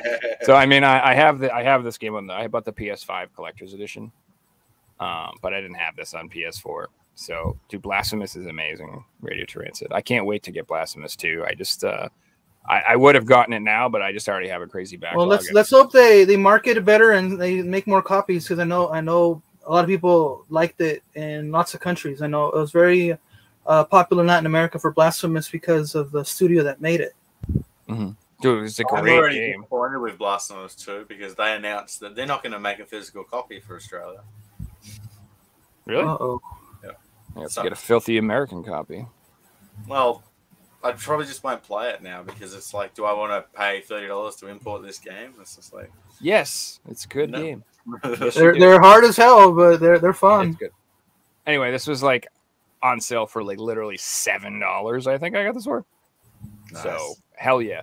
So this is what I mean. So I, this is this. So if you like, if you're into collecting PS4, it's the time to strike, guys. Like you can find so many deals on clearance and on cheap. Like I'm, I'm, I'm I haven't spent more like twenty bucks on a game forever. Uh, just wait for the holidays. I'm pretty sure there'll be lots of games on sale oh for yeah. Black Friday. Oh yeah. So I probably spend more on this one because it's like a game that you couldn't. It's hard to find in the store. So anyway, the new Trine just came out. Oh, nice. So I went out and grabbed this because I do want. Like I've never played these games ever, but uh, me and my girlfriend were watching like a streamer who was playing the new Trine, and uh, it looked really fun and like it's like right up our alley. So it's like a action. It's like a 2D puzzle game kind of where you control like multiple characters and they all have different abilities and you have. Have to you have you opened that already? It's open. Yeah, because I, I know the I have that on the Switch, and it's uh, codes. oh, really? That's Yeah, the, S- the Switch version has No. one one game, and the and the other two are, are download codes. Um, I the game, don't think so. So this code No, is for. those, there's a those code should be all on the disc because I mean, okay, good. Yeah. Switch, Switch games usually they only have a certain size, but that game that game was like clearance for the Switch, or I found it clearance Mm-hmm. here in my area like about a year or two ago. It's got a code and- for a digital art book, but I feel like that game will be one to pick up for the future. Definitely that version. yeah, it's got the all four games on it and comes with this cool little map. But I'm not gonna take it all up because I can't fold maps. Just it'll flip Yeah, because back. Trine Four got a PS4 release, and then they released Trine Four on that pack. yes, which is funny because like like I that's exactly when I looked up. Like Trine Four was like twenty bucks and this was like twenty one. I was like, all right, I'm gonna go for the one with all the games. That's a no brainer. And then, um, all right, so I do got I have two to me very exciting pickups for me because I am like into you know the VR collecting. I know if you guys know that I have like a full VR set. I'm only missing like a couple variants, but I have like every physical game, and I've You got have to the Job point- Simulator? Oh yeah, Yeah, that that But I- one's been tough to find. I got them all. I just don't have all the weird variants. Like apparently, there's like four or five variants of Job Simulator, uh, which Oh, really? I, I guess apparently there's like a whole bunch of whatever. I don't know, like misprints and shit. I don't know, but I'm not into all that. I just want to. the I want like the regular copies and like alternate artworks. I'm not into misprints and stuff. I don't care in particular. But anyway, there are things I'm collecting. So there are three um, aim controller bundles, and um, there's the far firewall one, the Farpoint one, and the Bravo team one. And the Bravo team one is like impossible to find, but I finally found one. So I finally got the Bravo team bundle one, Ooh, and uh, so rare, man. it's not the greatest condition. Like I don't know, I can't. It's got like a little like wear on the box right in the corners. there. I, I've seen I've seen those games, but usually they just go under my radar because I think to myself like "Eh, the box is big. Where am I going to Mhm. put it? And usually like I think to myself, I'll eventually find those guns at the flea market. But when you find them like that complete, I mean that that's a Mhm. good thing to show off in your collection. Yes. So the I have all three of the E ERS RB ones. Uh, I wanted all of these ones, and they also all come with a not for resale version of the game. So if you are like a variant collector and you want like all the variants, they're in these. So anyway, this one is particularly difficult to find. Uh, at least it was for me. Maybe it's easy where you live, but like on eBay, there's only been one listing for this thing for the last few years, and it's like 200 bucks and I'm not spending two hundred dollars on it. I got this for like fifty bucks, so I'm pretty freaking happy to have it in my collection. So that's the I've sold the gun for more than fifty bucks before, so you got a really good deal. Yeah, that's what I'm saying, man. I'm very pleased. Like, like it was one of those things where like I have like an alert on eBay and it doesn't even go off because it's just never for sale, dude. It's like not for sale ever. And I saw Bravo Team VR aim and I looked and there was one on there and I literally like it was just like couldn't hit buy now fast. I, I don't even care what the condition is. You, you heard you not- heard the angels singing. It's that hard. Yeah, it is for PS4. It's for PSVR. Yeah, PSVR one. Yeah, it's You just it's now that you've got it, they're gonna pop up everywhere. of course now, and they'll be twenty bucks, and they'll be brand new, sealed, and uh, like the some guy will watch this and be like, I got a box of those, and you know whatever. Hey, if you got them, you know, put them out there. I'll buy a nicer condition one. I'm no problem with that. Um, so the second thing is another really hard to find PSVR item. Um, so this thing, like, it's it was only released in PAL territories, and normally I I only see them on eBay for like 250 bucks. Although recently I've just seen a whole bunch of these pop up for like 120 to 150, and I think I know why because I bought this one. Um, but anyway, here it is. It's the Iron Man VR motion controller bundle. Um, this thing is just impossible to find. Again, the condition I'm not really pleased with. This was supposed to be new. I was gonna it say, weren't they brand new? It was supposed to be new, and it literally showed up with a sticker that said "used like new." It's so you know, but like I said, either way, this thing is so flipping hard to find. I'm, I'm still happy to have it in my collection. But with the one thing that pisses me off, and the thing that I re- I realize why, because I got this for way cheaper. This was only like ninety bucks or something like that. Um, but uh, if you look, it's like the Middle Eastern PAL version Okay, yeah. So it's got like it has like just like Arabic text on it. Is And that instead a of sticker? saying Or it is? It's, it's, it's That's a probably from from United Arab Emirates. So usually their UAE is is what they yeah, most, most popular area where those games are from. and then if you look instead of it saying just PlayStation VR required, it has that. Gosh, I don't even know what that word is. Ara, whatever this is. This right here. See that? Yeah. Ara, whatever. That's that's not the normal PAL version. So super happy to have it in my collection. I still got a great deal on it. I'm I'm, I'm really happy to have it, but I'm still not satisfied because I want the regular UK one that just says PlayStation VR required, and I would like it in a little bit better condition than this. Look at that. So it's it's not awful. And like I said, just how rare it is, I'm still really happy to have it. But this was supposed to be new, and uh, clearly not. Thanks, TJ. But either way, like I said, uh, extremely, extremely happy to have it in the collection just because it's it, and it is insanely rare. And like no matter what, I did well on this. If I decide to sell this tomorrow on eBay, I'll double my money probably. so I'm, I'm okay with it. You know. It's always better to own it and want to upgrade it than not Exactly. Own it. Exactly. Just because it's like you, it's so.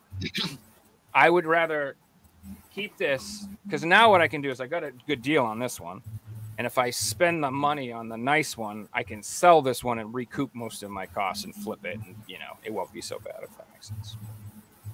But either way, like I said, the both of these items I've been looking for for like fucking years, dude, and I got them both in like a matter of 15 minutes.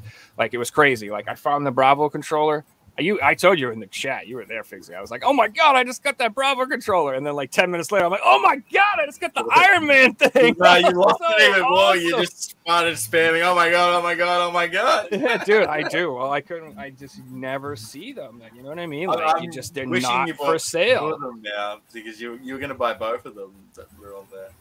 I should have bought all of them and just kept the best condition one and sold all the other ones. That's really what I should have done. But they were kind of expensive, and I don't know. It is what Well, it good is. thing you good thing you got it now because if you got it like in November or December, you would have probably paid more because you get more competition during the holidays. Yeah, and I don't think those will last very long. Like you said, these things they're, they're just so rare. Like I don't know. I, I, I you know I, I, I foresee them selling them out, selling out them. They were on Walmart in case anybody was curious. That's where I got it. It was on Walmart's website. Some dude in Texas had them, so it was like a third party seller through Walmart's website or something like that. That's all my pickups. That's all I got. I haven't got any pickups this week, but what I did was I went through my like um limited run type game shelf and just pulled out some really cool stuff. So why not? So we're gonna start with one that I played. So here we have an open copy of Firewatch. I absolutely love this game. If you haven't played this and you don't want to pay like 200 bucks for it, download the digital version because this is a really fun walking simulator. It doesn't sound fun, but it's the best walking simulator I've ever played. Uh, really, really fun game. You um, you're in a national park, and you talk to the park rangers on walkie-talkies, and yeah, I won't give it away, but it's a really good game. I think Limited Run put out five thousand of them, but unfortunately, it's pretty pricey now. And the reason I opened it in the first place is because I got a heat shrink seal, and I don't like them. I wanted a white seal, so that's why I opened it. It's also got like um, manuals, greeting cards. It's got a map which you don't see with PS4 games. You just usually have no manual at all. I don't think. I've ever seen that game open. to be honest with you. An open.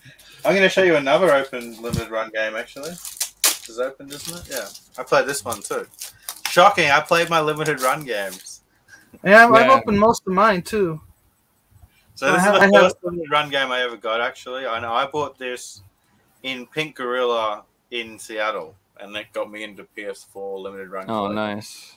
So this is Octodad Dadliest Catch. It's actually really fun. You play as an octopus who's pre- pretending to be a dad, and you're an octopus, and you have to like still do dad things, but with tentacles, and you control. It's like a physics similar, right? Where you're all Yeah, You control goofy. the tentacles with L one, L two, R L L one, and R two. It's it's really fun.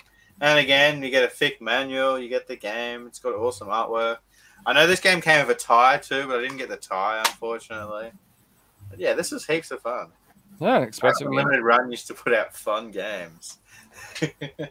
Is that an expensive game? No. um, I I wouldn't say so. I don't think Okay. so. I Uh, think next it's one's been on pretty sale a lot too. Yeah, yeah, I think you're right. I think it's a cheaper one. Uh, next one's um, this version's pretty expensive. but You can get other versions that are cheaper. And this is what remains of Edith Finch. Now, this is the first print through iam8bit. Again, it's a walking type simulator like um, Firewatch. Um, I haven't actually played this one, but I've only heard really good things about it. It's set in Washington State. Looks really cool. Uh, I won't open this one because it's like a two hundred dollar game. I'll, if I want to Mm. play it, I'll get the digital version one day. No, it's nice to have this one in the collection. Yeah, I think so. There's a couple. So there's a couple games. Uh, Annapurna put that out, and um, they also put out Kentucky Route Zero, Outer Wilds, and um, Gorgora, like Gorogoa, I think it's called. I can't say the name of it. They're all like insanely good, and they're all in that Annapurna collection. Are you familiar with that? Ah, Like, yeah, the big eight pack collection. I know the one you're talking about. That's Yeah. expensive now. It's like 400 bucks now. So I I really would love to get that because it comes with all of the discs and cases, the original one, but they have like a cheaper one for like 200. That's like a box set, but it just comes with the discs inside of sleeves, inside of like a box set. You don't get all the cases and stuff. Yeah, yeah. Still nice though, and you can get them cheaper. Yeah, so I've been on the fence like I what do I buy? Because I want Edith Finch. I want that game. But do I buy the two hundred fifty dollar one? Do I buy the four hundred dollar box set? Do I buy the two hundred dollar box? It's like, oh my gosh, I don't know I what to do. you. So- We'll I'll just probably- wait for it to be reprinted again. yeah, exactly. Or, or PS5 copy will come out and it'll be twenty bucks or something. Now, the I- final game I'm going to show is actually really interesting. It's the only limited, or maybe one of only two or three limited run games that I'd actually played before I bought it. I own the digital copy, and it was a game that I'm like, please release this game, please release this game, and that is Salt and Sanctuary. Yeah, It was a, like a Dark Souls two, like Castlevania styles Dark Soulsy game. It's really fun. Yeah, that one's also on the Switch too, so they, they gave people options. It's on the Vita as well, I believe. But yeah, this is the one game that Mhm. um, Scott um, Scott Pilgrim was the same. That like when Limited Run announced that, I, I was genuinely excited. It's like finally they're bringing out the game I wanted them to do. Uh, there's a Sanctuary. I haven't- um, price of there's a this sequel now too. I think. I think there's another one. I'm pretty sure there's a new ver- there's a sequel to that now. Oh, I Salt and. Sacrifice, I think it's called, or something like that. I think. I'm pretty sure there's a sequel. Um, that game is hard as balls. I have that game as well, and I remember playing. Rewarding, but it's not like I- it's not like artificially hard. It's just No, you got to get good. it so it was one of the first games I got that like it it is unapologetically hard. Like it's not like it's not like there's no babying you. Like you have to learn the moves and you have to learn how to counter and, and you have to learn how to fight. And it's just you can't screw you can't just button mash. You cannot do that. You'll lose. So I just remember like being shocked at how much effort I had to put into it. It's just like it's a little 2D action game and I'm sweating over here. What is happening? This is so hard. but now I'm used to it. It's not so bad. Like I said, I'm tons of games like that. So. Joe, what have you got to show us today? Well, I let me see. Well, have you ever guys uh, seen the the versions of Final Fantasy that have the silver disc? The ones that came out a couple of years ago? Yeah, I have one of those. Final Fantasy Seven. Yeah, there's there's quite a bit of those.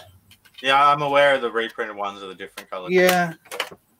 So right here I got uh, one of the greatest uh, hits, uh, Final Fantasy uh, Nine. This is one of the silver discs, and then let's see right here I have the the regular version. So uh, some of these uh, you've seen them, you'll see them around because they came out a couple years ago, and Square Enix was probably the last publishers of silver disc PS1 games. But sometimes you just got to look at the at the logo. So some say uh, SquareSoft, and some say Square Enix. So some of the later uh, greatest hits on these PS1 games, you can't you have to look at the clues to open them, not open them up because I know people are, are going to try to keep them sealed. But when you find these, it's uh, Final Fantasies, it's a Chrono Trigger, Chrono Cross, I mean, and a lot of these are silver discs because they're the last ones that came out from the Square Enix store. So. Sometimes people sell them real cheap for like 20, 30 bucks, but you just gotta uh, look at the clues and ask them because sometimes people open them and they'll think, oh, they they must be uh, uh, fake copies because they're silver discs or or they have or they're the they're not originals, but they are originals because they came from Square Enix. So I'm always uh, telling people, you know, when you buy these, I mean, if you're gonna pay 20, 30 bucks for them, I mean, that's the same price as they were back in the day. So you can actually uh, find the the variants that have silver uh, silver bottoms to them. So it's always good to know your options, or if you're a Final Fantasy fan, then you'll find uh, that there's variants out there. And there still are. like there, there's there's also uh, like errors on some of the discs or or something like that. But it's always fun to to have uh, you know options. And if you do want them, I believe you can still go to Square Enix's website and buy them brand new. It's awesome. Yeah, that too. Or if you don't even have a PS1 anymore, you can always uh, buy them on the Switch. I mean, that that copy of those copies of Final Fantasy on the Switch are still pretty cheap too. On the Switch. Yeah, Salt and Sacrifice is an action role playing game that was released in May 2022. Oh. Oh, I'll have to check that one out. Thanks, Joe. What else have you got first, Joe? I don't know. I'm trying to figure out. Uh, we we started talking before the podcast started, and I get a chance to to grab a few things. So let me see what else I got. Hmm. You want anything uh, lately, or just something random from my from my collection? Oh, anything, man. Whatever you want Anything. to grab. Anything you want to flex on us, man? All right. Flex, flex, flex. All right. Let me. Radiator Rancid said finding the Squaresoft on PS2 is even harder to find. All right. Here's something I got a couple of years ago, and I know it's been. Um, I'm not sure it's hard to find, but it is and it isn't. But uh, this one is uh, Summon Night for the. Let me, let me see. This one is the box that it came in the mail when I got Summon Night on the PSP and and and the Vita. Is that Well, I mean Summon Night. Well, so Summon Night Five actually. nice? So I remember uh, when I when I ordered this from them, it was Summon Night Five, and I still have it sealed because they ended up giving me the code for the PSP, and I just put it on my Vita. But this one came in a special box, which uh, I'm a little sad because my own post office, or when they sent it to me in the mail, they just slapped a sticker on top of it, and right here I have my my PO my PO box number in in, in Calexico where I get my where I get my mail. And then a couple of years later, they were they were offering the boxes, but I never got a chance to buy the box. I, I kind of tried to to wipe this off, but it's it's a, it's on permanent marker, so the the the address here is, is still stuck on the box. I managed to peel off the UPS sticker that was on top of this because there's a big old white UPS sticker here on this, and I managed to peel it off carefully, but I never got the chance to to take off my my PO box number, but if you guys have ever seen the the box, even the box was crafted nicely. It's got uh, lots of pictures on it, and I said it came with the with the soundtrack. So this is a uh, Summon Night Five, which it didn't really come. Uh, it came it came out at the end of the PSP's uh, life cycle. I said I I downloaded it for the PSP, and I just jumped it over to the Vita, and I never I never bothered to open this. And you know the Summon Night, uh, I have it in my collection. Summon Night Six on the it came also on the on the Vita and the PS4 and Summon Night 6 I think has like one of the thickest uh, manuals ever on a PS4 game. Have you ever, ever seen the manual? Well, I don't believe I have, but I was gonna say that was that the game that you had to buy it for a Kickstarter, or you had to? Yeah, no, that's one of the that's one of the few games that I've actually I actually did a Kickstarter for. I hardly ever do that, but I I like the, I like this series because it it's actually like on the Game Boy Advance and on other systems, but I really like the Game Boy Advance games, and I liked it on the on the Vita uh, on the on the PSP also. So they're they're fun RPGs, and like I said, RPGs usually uh, hold their hold their uh, value. So I thought to myself, you know, the the PSP was was dying down, and I like the PSP. I have a bunch of RPGs on the on the PSP, and So Getting one of good these would be on a them. no. Such good system. Retro was saying that Definitely. hairspray might take the ink off. Oh yeah, Unreal. I'd ha- I have to try, but I mean this that this thing's already like, wow, like four or five years old now. So I don't know if the I have to give it a try. And TJ was saying that you should show us your googly eyes. Oh yeah. Oh, that's something I also do. I mean, if if well, I, I guess if you later on you put my my Instagram, I and also I have, I have it on Tumblr. I mean, I, I've I've been doing it for years, and a lot of my friends have seen all the crazy stuff that I've done. But I usually put like on top of the on top of a game, I put wiggly eyes on them, and I take a picture of it. So I've been doing that for like sure, like like seven, eight years now on those. What's your So I- Instagram page, Joe? Uh, it's a Googly Joe on, on Instagram, and on Tumblr. Oh crap! On Tumblr, it's an old. It's another uh nickname. That's not like a nickname, but this is my.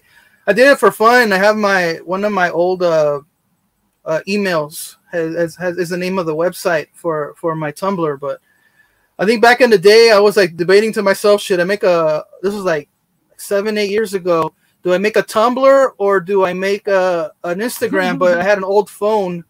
I had an old phone years ago and it had a space on it, so the the Tumblr app was smaller than than Instagram. So I ended up just doing a a Tumblr. But about a couple years ago, I just I had I had a new phone and I and I did an Instagram. And So good. yeah, so I'm debating. I, I have them on file somewhere, but I need to go to my old laptops and some old uh, SD cards that I have. But I have like like four or five years of, of, of looks old uh, googly eyes on on dude. all my video games. But I've listen, I have like almost six thousand games. Um, there's been plenty of of um, of games that can that, that I can do that but love the, but my Instagram doesn't have that many. My my Tumblr had a whole bunch, the dark That- one that I- that I did Go years ago, up. but- scroll back up. Look at but I, I need I needed yeah. to just uh, jump them. over. Usually, I gotta get I gotta get this laptop that I'm using right now. hey, those that is what This my laptop that I'm using right now, and just uh, re-upload them and, and put all my old Tumblr photos on it. That's so good. But yeah, that's, that that was a thing I did a couple years ago for fun, and I just kept doing it. I usually do like I used to do like like 10, 10 of them, fifteen of them a month, but then I slowed down because if I I, I even though I have six thousand games, not not all games oh are are easy to put those little wiggly eyes on. So usually I just do like like eight or ten now in a month instead of doing like fifteen or twenty back in the day. I think I'm gonna steal your idea, but I'm gonna put. But yeah, I mean, if you if you like the if you like just stupid uh, random stuff like that, I I have my Instagram and I'll see if I can uh, send you my Tumblr link later, and you can just uh, put that up on on on this or or. It No, should have been the whole the show, by the way, Figsy. We should have just sat here and looked at. But all yeah, I've been, I've been doing those for years now. oh, this is so good. So, do you, Joel, do you mind if I steal your idea? And then uh, just I'm gonna put nipples on everybody, though. That's what I'm gonna do. Same thing, just put giant nipples on all the characters. that looks so good. it's so intense with them pointing at you like that.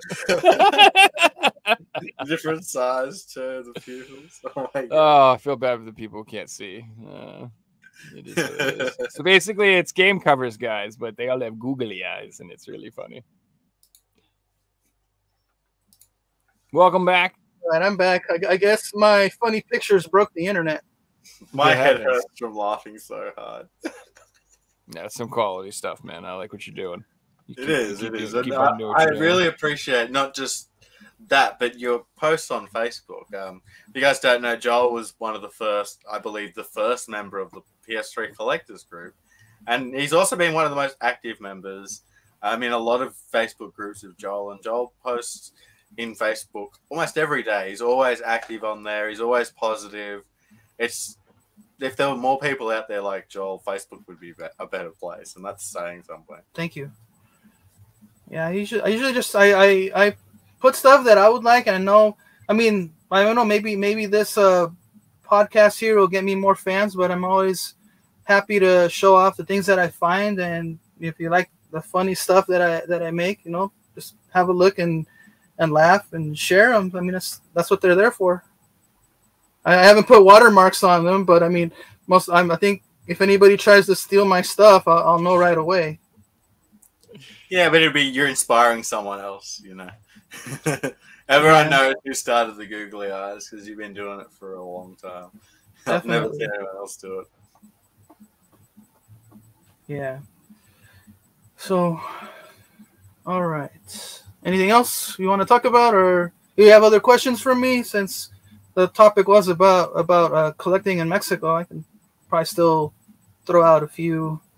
I think we tips just or covered everything. Jo- um, Joe, did you have any further questions, or does anyone in chat have any further questions to ask Joel before we go? Oh, my only question is that I, you know, are there any like regional exclusives or anything in particular that um, people should look out for that are only available in Mexico or Brazil or anything like that? Any knowledge in Well- that regards? I'm not too familiar with Brazil, but I mean most of the of the very uh, popular Mexican uh, video games have already been out there, like El Chavo Kart, and there's one called Atrévete a Soñar, which is a Wii game that uh, came with the microphone, I believe. It's and there's a few out there that are in Spanish, but I think those are those are pretty uh, pretty common games. We just got to look for them. They still they still have the same. They think that I think they still have the same UPC number, but they just changed the label a little bit, and it'll say in Espanol un- under it. But it's usually like sports games that that few few uh, EA games that are in Spanish. But but the most the most uh, familiar one to a lot of people uh, on the P, especially for PS3 collectors is uh, Chavo Kart. Mm. So that one uh, here with me and on the border with Mexico, I've only seen it randomly, like like rarely. But most people here in Mexico have already caught on that that, that type of game is, is sought after by by PS3 collectors since uh, PS3 collectors are very passionate to own pretty much every single game that came out. Now, since that was like the first system that became a multi-region without having to mod your console. Uh, most of the people in Mexico, uh, whenever they see that game, even like regular uh, gamers or people that have like uh, little uh, stalls in, in Mexican flea markets, they'll they'll grab those games and they'll and they know that they'll take them to another person and they'll trade them and they'll eventually get get their get their money back or, or get more than their money back. So that the Chavo Chavo Kart is, is a good example of Mhm. of a of a Mexican exclusive game that's that's wanted all around the world. So you don't you don't find ten dollar copies of El Chavo Kart at- in Mexican fleet. Let's see. Someone says you anything do, on you should let Switch us know. you're looking out for or can't find right now. Uh, there's nothing, nothing really on Switch that, that I'm looking for. I mean, I, like I said I live on the on the U.S. border with Mexico, so I'm back and forth. So I have my options of, of checking on Amazon or eBay, which I don't really shop on eBay, but usually Target, Walmart, Amazon, GameStop, those places uh, can get can you can get pretty much any game. So uh, if there, if there's any Switch game I want to buy, it's usually just uh, probably like an RPG, but I can just uh, pre-order that on GameStop or or just order it on Amazon when it comes out. No, Mario. any big game to find on PS4 collecting in Mexico? Uh, well, PS4 or PS4 games in Mexico is well where I, where I'm at. It's usually just the same games that are that are here in the in the U.S. They're just like I said, they're barely trickling into Mexico since I'm on the border with the United States. So there's there's people that actually well if people do want a, a PS4 game that's that's kind of rare in Mexico, it would be uh, fighting games. So fighting games like like a King of Fighters that just came out. I know some people like that on Steam, but there's people out there and there's there's big fighting game fans in Mexico and they love their arcade sticks, so they'll want to get uh, King of Fighters. Uh, I think it was 15 or 16 that came out, so they they would want to get it physical. But a lot of people would just are happy enough playing the digital game on, on Steam. Yeah, and TJ Beam says that there's Lucha Libre on the Wii. So yeah, that one that one's a, a AAA game. It's a triple A. So that one's actually pretty rare in in the United States. It's usually more found than like I haven't gone to other states.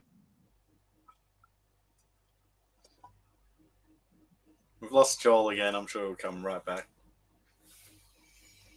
Yeah, Le- Lucha Libre on the PS3 is quite a hard game to find as well. Um, I was going to mention that um, there are a lot of wrestling variants that Mexico get. Um, so a lot of the wrestling games, Mexico will have like Rey Mysterio on the front cover instead of having the wrestler that America put on the front cover, etc. Yeah, so there are some wrestling games in in Mexico. Well, actually, there were there were U.S. games, but they they, they kind of cater them towards the Latin American market. So there are some uh, that that triple A wrestling game. Uh, not many people in the U.S. know about it, but it's, it's popular in Mexico. So I guess they figured that that game can sell well in Mexico. So it came out on the Wii, the PS3, and the 360, and I think uh, for the fans, I think all of them, all of them were are, are sought after by, by collectors, especially since wrestling games are pretty common. But I mean, no one's gonna say, "Oh, I have a wrestling game from Mexico." So that that one that one makes it more interesting to have in the, in the collection. DJ was saying, I think the Mexican version wasn't officially released. That's interesting.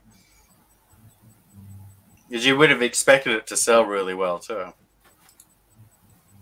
Yeah, possibly.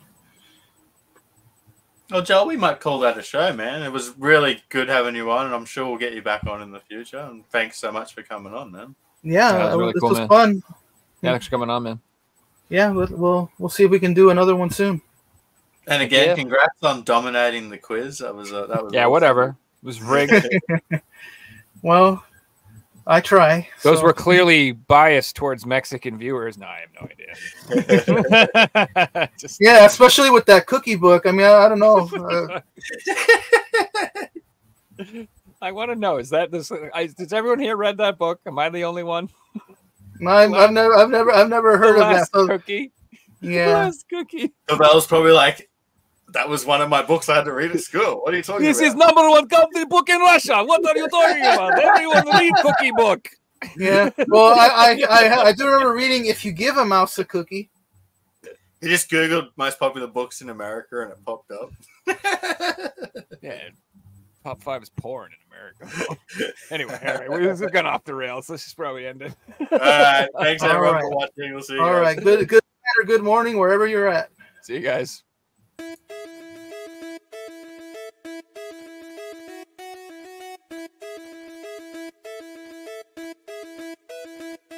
You found the coolest place